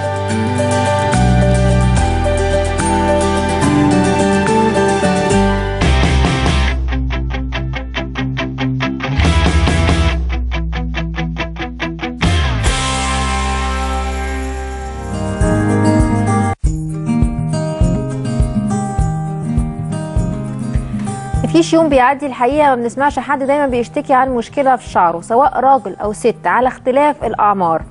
آه معظمنا كمان يمكن بيستصعب قوي فكرة إن الواحد يروح لدكتور وبيخاف من الشكشكة معظم الوقت وكورس العلاج بيبقى طويل جدا عشان تبتدي تشوفي نتيجة فورية للشعر. عادة إحنا بنحب نستسهل أو نحب نشوف نتيجة فورية وسريعة وسهلة نقدر نحس بيها إنه إيه ده بجد أنا عملت حاجة وشعري شكله اتحسن شعري بطل يتساقط شعري ابتدى ينبت من أول وجديد. إحنا النهاردة منورنا في الاستوديو آه، أميرة آه، مصطفى خبيرة التجميل بمراكز جريم مساء الخير يا أميرة. مساء النور إزيك؟ هتكلمنا بقى النهاردة عن آه، منتج جديد آه متعلق بالعناية بالشعر بكافة مشاكل الشعر المختلفة. أنا اتكلمت عليها بقى من حتى شكل الشعر عارفة ساعات كده تلاقيه إيه؟ تعبان آه بهتان. بهتان آه، ضل عارفة اللي بيقولوا ضل وطروفه آه، مش مش مظبوطة وتحسي إنك ما بيلمعش ما تحسيش بالصحة كده آه، في الشعر. تمام. احكي لنا بقى عن المنتج الكتير الجديد اللي هو ال NHP ده. NHP. بداية بقى قبل ما أتكلم على ال NHP كل المشاكل اللي إحنا اتكلمنا عليها دلوقتي بالنسبة للشعر هنقدر نتفاداها واحدة واحدة لو حلينا المشكلة الجذرية الكبيرة اللي هي مشكلة تساقط الشعر. مشكلة تساقط الشعر دي أسبابها كتيرة قوي. خلينا الأول نلفت نظر الناس إيه هي مشاكل تسا... يعني إيه آه، هي هي بتؤدي الشعر؟ لتساقط الشعر. طبعا أول فئة مظلومة معانا في الموضوع ده هي فئة الحوامل آه، اللي هي لسه ح... كانت حامل وولدت أو بترضع. ده, بعد الولادة ده بتلاقي شعرك على المخدة جنبك. تمام. ده بيعمل اكتئاب فظيع جدا. تاني حاجة طبعا إحنا عندنا الصبغات والمواد الكيميائية دي من الحاجات اللي بتضر الشعر قوي وبتعمل فيه مشاكل. مفيش بنت ما مرتش بالموضوع ده مأساة. آه، طبعا إحنا عندنا برضو الناس اللي بتعمل diet. الناس اللي بتعمل diet بيحصل لها hair loss أو تساقط للشعر كبير جدا ودي بتبقى برضو مشكلة الاكتئاب التوتر. الثانوية العامة يا جماعة بتوقع الشعر. آه، العروسة قبل فرحها بتلاقيه مع كمية التوتر اللي بتبقى فيها شعرها بيقع بشكل فظيع جدا. كل المشاكل اللي إحنا اتكلمنا عليها دي زائد الصلع الوراثي. دلوقتي مدام حنان هتلاقي ناس كتيرة جدا سنهم صغير سواء ولاد أو بنات وشعرهم واقع. آه. بيقع بطوله. ابتديتي تشوفي فروة الراس وهم ماشيين جنبك. آه في فراغات في الشعر. آه زي ما حضرتك كنتي لسه بتقولي بصحى الاقي شعري على المخدة جنبي. آه. آه بغسل شعري بلاقي شعري نازل بطوله. الموضوع ده بيسبب أزمة لناس كتير قوي. طبعا إحنا بال NHP زي ما هعرفه لحضرتك دلوقتي هو منتج جديد معانا. هو 100% طبيعي مستخدم بمواد طبيعية. زي ما إحنا شايفين ال product معانا دلوقتي هو عبارة عن كورس علاج. آه. هنشرح كل مكوناته بالتفصيل آه بس خليني أقول لك إن الكورس ده هيغنينا بشكل كامل عن حاجات كتير قوي كانت الناس بتتضايق منها زي زي إيه؟ الالتزام الالتزام ده بيبقى مشكلة عند ناس إن أنا كل أسبوع لازم أروح آخد حقنة آه آه. لازم أمشي على دواء باستمرار آه لازم أروح أتابع مع الدكتور والدكتور بعيد عني قوي دي مشكلة تاني مشكلة الشعر دي بتوجع حقن الشعر بتوجع جدا وفي أوي. ناس بتدوخ منها كتير قوي مم. تالت حاجة إن لينا يعني في زوار كتير بيجوا لنا مصر دلوقتي بتبقى فترة أجازتهم قصيرة وعايزين يعالجوا شعرهم. طب أنا هعمل إيه؟ ما كورس العلاج طويل. فبيبقى يفضل إن هم ياخدوا كورس العلاج معاهم يقدروا يتبعوه في البيت. مفيش مشاوير مش يعني يعني ده ممكن آه، آه، الكورس ده ممكن نعمله من من البيت؟ آه طبعا ده home care إحنا بنروح بيه البيت ده كورس كده بناخده بنعرف طريقة استخدامه بنروح بيه البيت. وموضوع سهل جدا. هو عبارة عن شامبو مش محتاج خبراء يعني أو حد يعمله لك لا لا. لا خالص. الموضوع سهل قوي هو شامبو بيتغسل بيه الشعر عادي وفي أمبولات معاه بنستخدمها بطريقة معينة وسبراي بيترش على الشعر برضو في أوقات معينة بطريقة معينة. المنتج ده ياخد موافقة؟ أكيد طبعا. إحنا معانا تصاريح من وزارة الصحة ولو آه. بس ال control يقدر يعرض معانا الصور بتاعة الموافقة. مظبوط. دي آه دي التصاريح بتاعة وزارة الصحة والموافقة على المنتج. هو مم. منتج إيطالي طبيعي 100% ما فيهوش أي مكوناته مواد إيه بقى. نتكلم بقى عن المنتج كده. قولي لي بقى. okay. هو إحنا شفنا التصاريح وكده مطمنين تمام. تمام. بداية بقى لو هنتكلم عن المنتج هو عبارة عن أم، أنا عايزة أشرح باستفاضة شوية وبكلام بسيط علشان آه. الناس تقدر تفهمني. إحنا جايبين مستخلصات النمو من الخلايا الجذعية okay؟ ده أول منتج آه sorry أول مكون والمكون الرئيسي. وفي 19 نوع من أنواع مستخلصات الزيوت المفيدة للبشرة sorry للشعر. للشعر. آه وتاني حاجة في acid ال acid دوت بيساعد على يعني هو نوع من أنواع ال acids يعني بيساعد على إن الشعر إفرازاته الدهنية تقل شوية. آه من مشاكل اللي بتسبب سقوط الشعر دايما إن الشعر يبقى دهني قوي أو إن يبقى فيه قشرة. القشرة بتوقع الشعر. okay؟ فإحنا بنتكلم دلوقتي إن NHP معانا دلوقتي في ثلاث حاجات. في أول حاجة اللي هي مستخلصات النمو بتاعة الخلايا الجذعية ودي بتخلي الشعر ينمو ثلاث مرات أسرع بتقوي البصيله ثلاث مرات وبتحافظ على قوة الشعراية ثلاث مرات عن الطبيعي. لأن. أنا بحفز قوى البصيله جوه آه، بزود تدفق الدم بشكل كبير آه، للبصيله بتاعة الشعر. آه، بساعد البصيله المتضررة أو التعبانة إن هي تشتغل بكفاءة تاني. okay؟ بعمل protect للشعر. ناس كتيرة مشكلتها إن شعرها فتلته نفسها خفيفة. ضعيفة بالظبط. بتعيش. الشعرة الخفيفة دي بيبقى سهل قوي إن هي تتقطم معايا NHP بيخلي الشعرة ال thickness أو الكثافة بتاعتها أكبر شوية. بتلاقي إن الشعر معاكي الكثافة بتاعته أتقل بقى ماسك نفسه. ماسكة نفسها آه، تمام مش بنسميها خفيف كده يعني. آه. وفي نفس الوقت ده بيدي volume معايا يعني الناس اللي شعرها خفيف مشكلتها دايما أنا شعري صغير حبة صغيرين بنسمعها كتير قوي بترن في ودننا دايما أنا شعري حبة صغيرين هو مش حبة صغيرين ولا حاجة هي الشعراية رفيعة فهو دوت اللي مدينا إحساس إن هو حبة صغيرين. okay؟ تمام. آه هي ديت المكونات بتاعه ال NHP وزي ما قلت دلوقتي أول حاجة إحنا بنقضي على الدهون الزيادة بنزود تدفق الدم في الشعر. آه بنخلي الشعراية تبتدي تطلع أسرع ثلاث مرات. okay؟ بننشط البصيلة بتاعة الشعر وكمان بنشتغل على البصيلات اللي مش شغالة. يعني أنا لو عندي مشكلة صلع وراثي ودي ناس كتير قوي كانت بتسألني في الموضوع ده الصلع الوراثي ليه علاج؟ ال NHP بيعالج مشكلة الصلع الوراثي. بس فين بقى؟ في الأماكن البصيلة فيها ضعيفة. في الأماكن اللي تلحقيها يعني قبل ما مظبوط لحد ما تنتهي. تبقى مشكلة كبيرة آه. إنما لو هنتكلم إن في مكان أملس خالص لا مش هنقدر نشتغل عليه لأن هو لازم يبقى فيه بصيله أقدر أنشطها. ما ينفعش إن أنا أشتغل على حاجة مش موجودة خالص تمام تمام. طيب آه، قولي لي آه، ال- ال- الكورس ده بياخد وقت قد إيه تقريبا؟ هو بياخد تقريبا حوالي 3 شهور okay؟ أم ال ال الكمية اللي بتبقى موجودة معانا في العلبه أو في الكورس اللي إحنا بنستلمه هي بتكفينا الثلاث شهور بالظبط ما بيبقاش فيه مشكلة خالص وما بنحتاجش علاج بعد الثلاث شهور ده خالص. هبتدي أشوف النتيجة بعد قد إيه؟ هبتدي أشوف النتيجة بعد قد إيه؟ بعد أسبوعين مفيش تساقط للشعر نهائي. أوكي؟ من بعد أول شهر ونص مثلا كده ببتدي أشوف شعر بينبت. بعد ثلاث شهور أنا بوصل للنتيجه اللي أنا عايزاها. حلو قوي. طب آه، أنت قلتي إن ده ممكن آه، آه، نستخدمه في البيت. طب هل مثلا الست الحامل تقدر تستخدم ال- الكورس ده؟ هو بداية أنا قلت ال NHP هو اختصار ل natural hair care program. okay؟ فهو ما فيهوش أي حاجة تضر سواء للأطفال للحوامل لحد عنده أمراض أي يعني حاجة. ممكن حتى لو أطفال عندهم مشاكل في الشعر أكيد طبعا آه، أكيد. تست... يستخدم ده في ناس كتير قوي دلوقتي يمكن ما فيش ثقافة شوية في موضوع العناية بشعر الأطفال. بيعملوا لهم حاجات خطر على شعرهم بيستخدموا حاجات بطريقة مش كويسة. فبنلاقي إن حتى في أطفال دلوقتي شعرها متضرر. NHP بيعالج كل المشاكل دي ولكل الأعمار اللي إحنا بنقدر نشتغل عليها ما فيش فيها مشكلة خالص. طب يعني قولي لي إيه اللي يخليني أشتري NHP بالذات دون عن أي منتج تاني موجود. رقم واحد أنا ما عنديش chemicals في المنتج بتاعي خالص. يعني أنا ما عنديش نسبة risk حتى واحد في المية إن المنتج ده ممكن يضرني okay؟ مم. تاني حاجة أنا بشتغل على مواد طبيعية. آه ولو حضرتك كنت فاكرة في أول الكلام أنا قلت لحضرتك إن إحنا بنشتغل على كل المشاكل اللي بتسبب التساقط. يعني أنا دلوقتي دي حالات صور؟ after و before الصور دي بالظبط من ثلاث شهور معانا.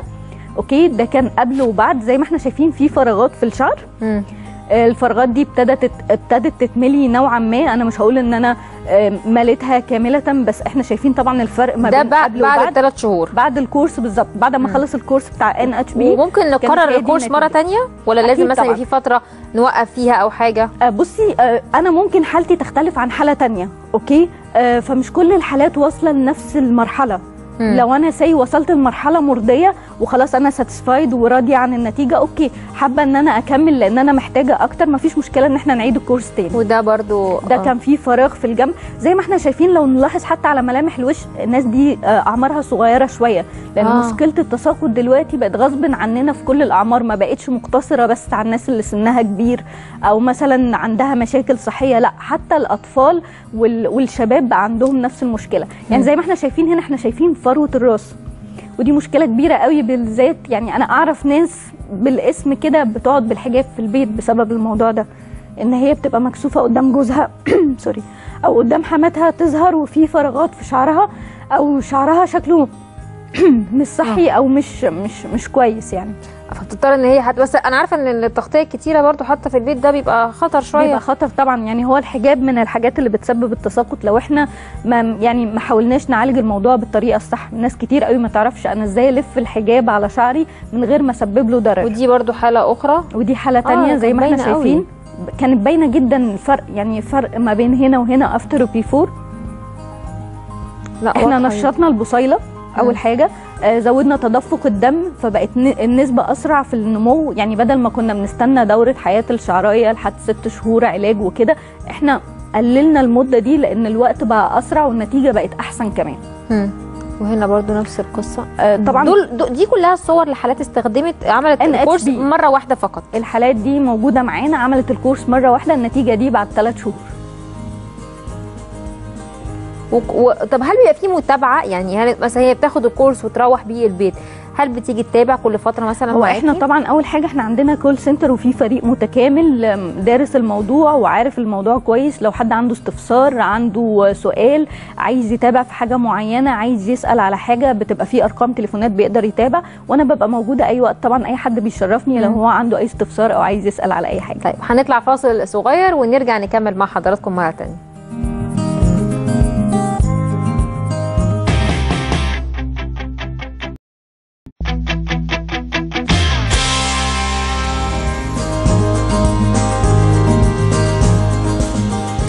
رجعنا مرة تانية. وعايزين ندخل في المفيد بقى يا أميرة.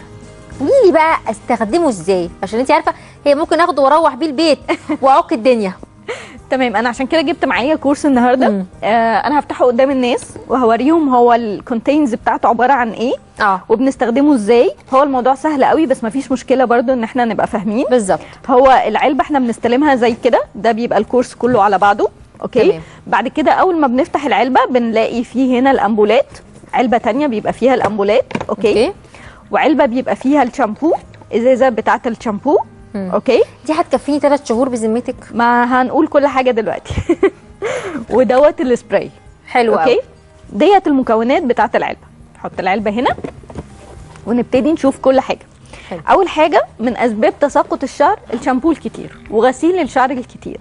مش بكتره خالص بالعكس هو بالمادة الفعالة أو بال effect اللي بيدهوني الشامبو. مم. okay؟ الشامبو ده إحنا بنستخدمه مرتين بس في الأسبوع. بتبقى حبة صغيرين قوي. آه والأول أول ما بنحط الشامبو ما بنحطوش على راسنا على طول حبة ميه صغيرين عليه وبعد كده بنحطه على شع- على شعرنا وبندعكه جامد كويس قوي. okay؟ مرة واحدة بس أصل أنا بغسل شعري فمين؟ مرتين. مش كوشين. مش مشكلة. آه بنستخدمه كده آه بنستخدمه مرتين في الأسبوع. بعد ما بنحطه على شعرنا بنسيبه ثلاث دقائق أو دقيقتين. okay؟ وبعد كده بنشطفه. مم. نشطفه كويس قوي. نفس المواد اللي أنا قلت عليها اللي هي مستخلصات النمو ونفس الزيوت آه، نفس ال acids اللي هي بتحارب ال- الدهون اللي في الب... اللي في الشعر. شعر. هي جوه الشامبو برضو. الثلاث علب دول فيهم نفس المكونات. الشامبو آه زي السبراي زي ال ampoules بالظبط. كلهم مفيدين للشعر وما ينفعش حاجة تشتغل من غير حاجة. مم. okay؟ دي أول حاجة زي ما إحنا قلنا هيبقى مرتين في الأسبوع هنستخدمهم. ده الشامبو. بعد كده نيجي بقى لل ampoules وال spray. العلبة بتاعت ال ampoules ده هو ما فيهوش كريم. يعني لا. ما فيش after after shampoo آه في في في NHP نفس الشركة ليها product تانية هنتكلم عليها برضو. آه. بس الكورس ده أصل لك انت الش- الشامبو وراه ال- الأمبول. وراه الأمبول أو السبراي على حسب. ده بيبقى بالتناوب. إحنا زي ما إحنا شايفين المكونات بتاعت العلبة هي أهي. هي عبارة عن ampoules عبارة عن 10 أمبولات كل أمبول 7 مللي. الأمبول الواحد بيكفينا لمدة 3 أيام okay؟ حلو. يعني في كل مرة بناخد تلت الأمبول. okay. بناخده إزاي؟ بيبقى فيه هنا ديت. ممكن ممكن نشوف تاني ممكن نشوف تاني شكل علبة من جوه عشان آه أكيد. هي أهي العلبة من جوه أهي. آه. بيبقى فيها 10 أمبولات. كل okay. أمبول بيبقى عبارة عن 7 مللي. تمام. okay؟ آه بناخدها وبناخد الراس ديت بتاعتها. بنكسر طبعا الأمبول من فوق. وبنركب عليه الراس دي بتبقى ثابتة. آه. ومن هنا دي بلاستيك خفيف عشان بنقدر تعرفي تنزلي بيها النقط. بنبتدي ننقط بيها على فروة الشعر نفسها. مم. okay؟ آه نقسم بقى الشعر. نقسم الشعر وعلى الفروة آه. بنحطها وبنبتدي نعمل تدليك ليها. okay. okay؟ okay. وبعد كده بنشيل بقية الأمبول وبنستخدمه بنفس الطريقة. الأمبول الواحد بيكفي ثلاث مرات. تمام. هنحط ده مرة. اليوم اللي بعديه هنحط من السبراي خمس بخات. على على الشعر بقى نفسه على الش... لا مش على فروة ولا على الفروة الراس. على, فروة الراس لأن إحنا شغالين على البصيلة آه okay؟ كله على فروة الراس كله على آه. فروة الراس تمام في الح... ال... الكورس اللي بنقول عليه ده في حاجة واحدة بتتشطف اللي هو الشامبو إنما ال spray وال ampoules ما بتتشطفش بنحطها وبنسيبها على شعرنا زي ما هي ودلوقتي برضو هفتح يعني نستخدمهم بالتناوب مرة الأمبول مرة أمبول ومرة ومرة بخ... سبراي. خمس بخات سبراي على فروة برضو على فروة الراس وبرضو. نفس التدليك وبنسيبهم مم. okay. okay؟ ده بنستخدمه أربع مرات okay؟ هو ده بيبقى 100 مللي ده بنستخدمه أربع مرات وده بنستخدمه ثلاث مرات. okay. يعني قدام كل كل أمبول من ده في الأسبوع أربع مرات من ده في الأسبوع. هيكفوا ثلاث شهور؟ بيكفوا ثلاث شهور طيب هو مش. بكتره خالص لأن هو already ال contents بتاعته عبارة عن مستخلصات طبيعية كاملة. يعني ما. فيش مش مزوداه بزيوت معينة مش مفيده ليا مش حاطة عليه chemicals بس انت عارفة إحنا المصريين كده نحب بنحب إيه؟ الكتير. زيادة يعني نقول لك ست بخات بدل خمسة. لا لا لا, لا. 10 نقط بدل سبعة يعني عارفة؟ والله كله من فلوسك انت حره بقى. وهو دوت شكل السبراي من جوه. okay؟ آه هي البوزة. بتاعتها تمام آه. آه وبنرش بيه خمس بخات بنقسمهم على الشعر يعني بنقسم الشعر على خمس مناطق ونبتدي نرش فيه. وطبعا التدليك ده مهم قوي لأن هو بينشر فروه طب أنا هسالك. سؤال. بصي بقى أنا النهارده مثلا واحدة آه، عامله شعري عند يعني أنا استخدمت الشامبو وعملت شعري. okay.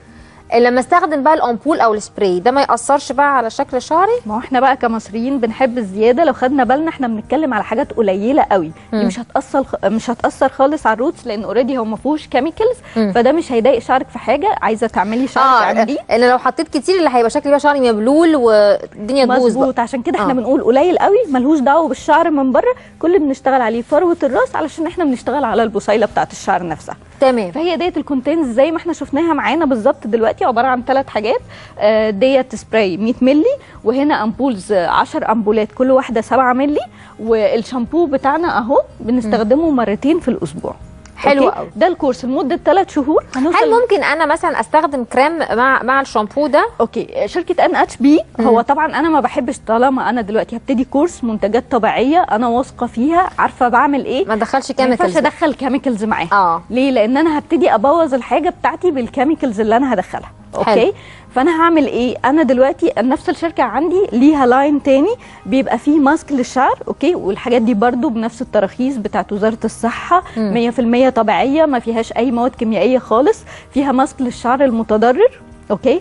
فيها حاجة كمان leave-in كده leave-in conditioner بنحطه. بعد ما بنخلص زي دلوقتي زي ما حضرتك بتقولي انت متعودة حد زي حضرتك مثلا لازم نصور فلازم أعمل شعري. مم. بنزل الشغل لازم أعمل شعري. في الجامعة لازم أعمل شعري. لازم نعمل protect أو حماية للشعر الموجود عشان أضرار الشمس. لو رحت piscine لو عملت شعري سشوار و babyliss. ففي كده عبارة عن منتج بنرشه اللي آه. هو ده. okay؟ ده برضه هوريهولك هو عبارة عن سبراي ده بقى سبراي للشعر نفسه للشعر نفسه آه. آه. بنحطه علشان نعمل protect من بره أو علشان خاطر لو إحنا عندنا نسبة ال- التقصف عالية قوي وإحنا لسه في بداية الكورس والشعر بيبتدي لسه ياخد.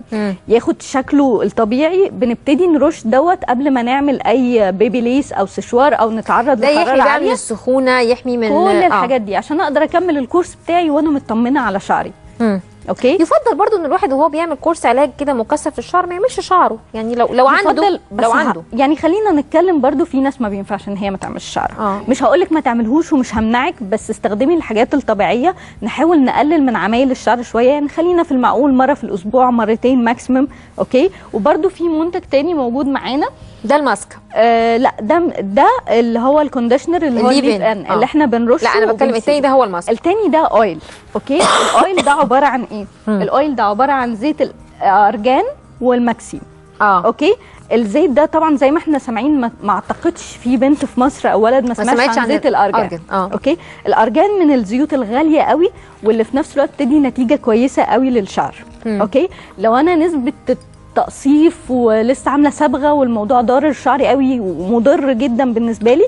بحط الماسك اللي أنا لسه قايلة عليه. بنحط الماسك دوت على ال oil ده okay؟ آه وبنعمله زي ماسك لشعرنا ونسيبه. النتيجة بتاعته رائعة. أنا بعمل mix ما بين الماسك وما بين, وما بين ال oil. هو ال oil لوحده بينشف مش كده؟ آه مش ده. مم. ال oils التانية عشان بيبقى فيها chemicals زي ما مم. قلنا قبل كده هي فعلا ال chemical بتنشف وناس كتير قوي بتقول ال oil لوحده لو pure لأن إحنا بنستخدم ال oil ال oil اللي هو بنبقى جايبينه من عند العطار مثلا آه من مش داخل. عليه أي حاجة. مش داخل عليه أي حاجة فطبيعي إن هو ينشف الشعر. وفي ناس بتحب تستخدم ال oil في التسريح. آه. فده بيستخدموا منه حاجة بسيطة قوي عشان الناس ال... في ناس السيرم بيلزق لها شعرها. آه. فال oil بالنسبة لها بيبقى أخف. وفي نفس الوقت ده مفيد. إحنا بنغذي الشعر وبنقدر إن إحنا نصففه بشكل كويس وبناخد فايدة ال oil منه من غير ما نخلي مظهر دي الشعر حاجات كلها ممكن. أعملها لروحي في البيت ولا لازم متخصص؟ مش محتاجة أي متخصص عشان يقدر يقول لي أستخدم الحاجات دي إزاي. وزي ما قلت لحضرتك إحنا عندنا call center كامل نقدر نرجع له أي وقت في طريقة استخدام أي حاجة أو لو عندي استفسار عن أي حاجة. هنعمل بقى mix ما بين الكريم الماسك الماسك وأقعد بيه قد إيه؟ نص ساعة maximum مفيش مشكلة خالص. مم. بس أهم حاجة برضو في أي حاجة بنحطها على شعرنا التدليك.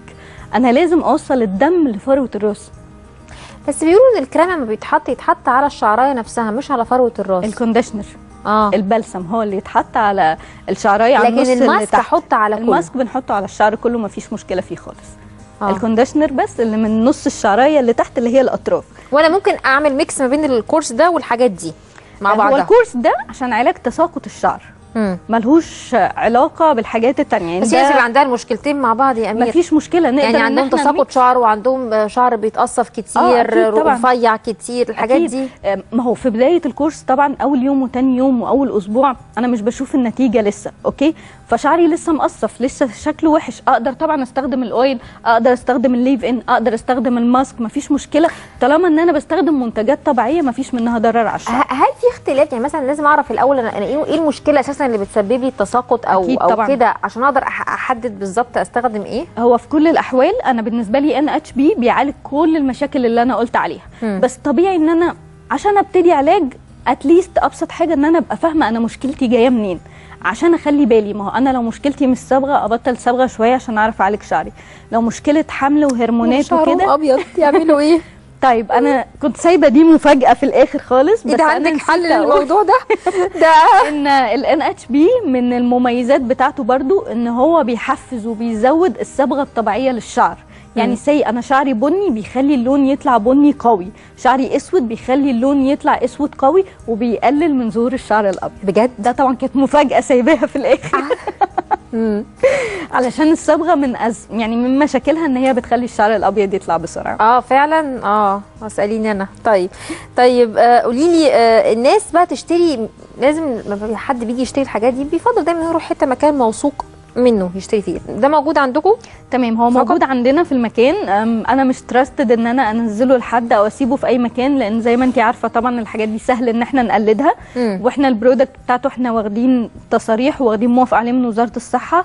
ولازم يبقى فيه مصداقية نوعا ما ما بيني وما بين العميل بتاعي فهو موجود عندنا وبنقدر نطلبه عن طريق الخطوط اللي هي ظاهرة عندنا على الشاشة في ناس بترد آه. آه. علينا بتشرح لنا كل التفاصيل وانا أحيانا بيبقى في وقت كده بنكتبه على ال page بتاعة الفيسبوك برد على التليفون لو في حد عنده استفسار أو عنده مشكلة وبيقدر يشرفنا ويقدر ياخد الحاجات دي بنبيعها أونلاين وبنوصلها لحد العميل آه بت... ممكن توصلوها لحد العميل طبعاً، آه. مفيش طب قولي. لي آه في مشاكل تانية إيه ممكن منتجات طبيعية أخرى تنصحي بيها الناس في عندنا مشاكل أخرى إيه للشعر آه تنصحي آه هو في line؟ تاني آه، موجود برضو من NHP بيعالج مشكلة القشرة في الشعر يعني ممكن تبقى بسيطة عندي عند حضرتك بس في ناس تانية مشكلة بتؤرقها موضوع القشرة بتاعت الشعر.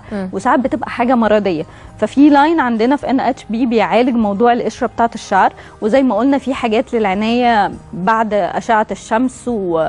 وبرضو وقاية من ال Babyliss وال... والسشوار لو إحنا بنعمل شعرنا كتير في حاجات للشعر المجهد مم. okay في حاجات برضو موجودة معانا عشان الناس اللي بتبقى عاملة بروتين أو أي treatment في شعرها بتقدر تستخدمه معاها لأن ما ينفعش طبعا نستخدم أي شامبو مع البروتين والحاجات دي مم. فإحنا عندنا كل ال lines دي موجودة في NHP. وبرضو المرات الجاية هنتكلم عنها بتفاصيل أكتر يعني بس هو يفضل إن طالما ابتديت علاج شعري وبشتغل بحاجة طبيعية أكمل كل الكل أكمل كل كله كل طبيعي. استعمالاتي بقى آه حاجات طبيعية عشان ما ابوظش من حاجة ما أبوظش حاجة لأن ما بقاش فيه أكتر من ال product أنا دلوقتي بخش أي صيدلية أو أي محل بتاع مستحضرات تجميل بلاقي قدامي أشكال وألوان بس فعلا أنا مش قادرة أبقى واثقة في حاجة معينة. طب أنا أعرف منين إني لو استخدمت ده مش هيضرني؟ وكل اللي موجود بيبقى مثلا حد sales أو يعني مجرد بس وظيفة إن هو يقنعك بحاجة معينة بس هو ما عندهوش الاستعداد إن هو يقدر يفهمك الحاجة دي صح الحاجة دي غلط تنفع ما تنفعش مناسبة ليكي أو مش مناسبة مم. ليكي فإحنا بنقدر نوفر لهم حد يحدد المشكلة النصيحة ويديكي السليمة الحاجة الصح ميرسي جدا لوجودك النهارده معانا يا أميرة آه، نورتينا. وأفدتينا ونتمنى إن كل مشاهدينا يكونوا استفادوا من الكلام عن مشاكل الشعر وعن ال products الجديدة اللي أميرة جابتها لنا معاها ميرسي جدا لوجودك. معانا bye bye دي كانت نهاية الحلقة. نشوفكم بكرة على خير إن شاء الله. باي باي.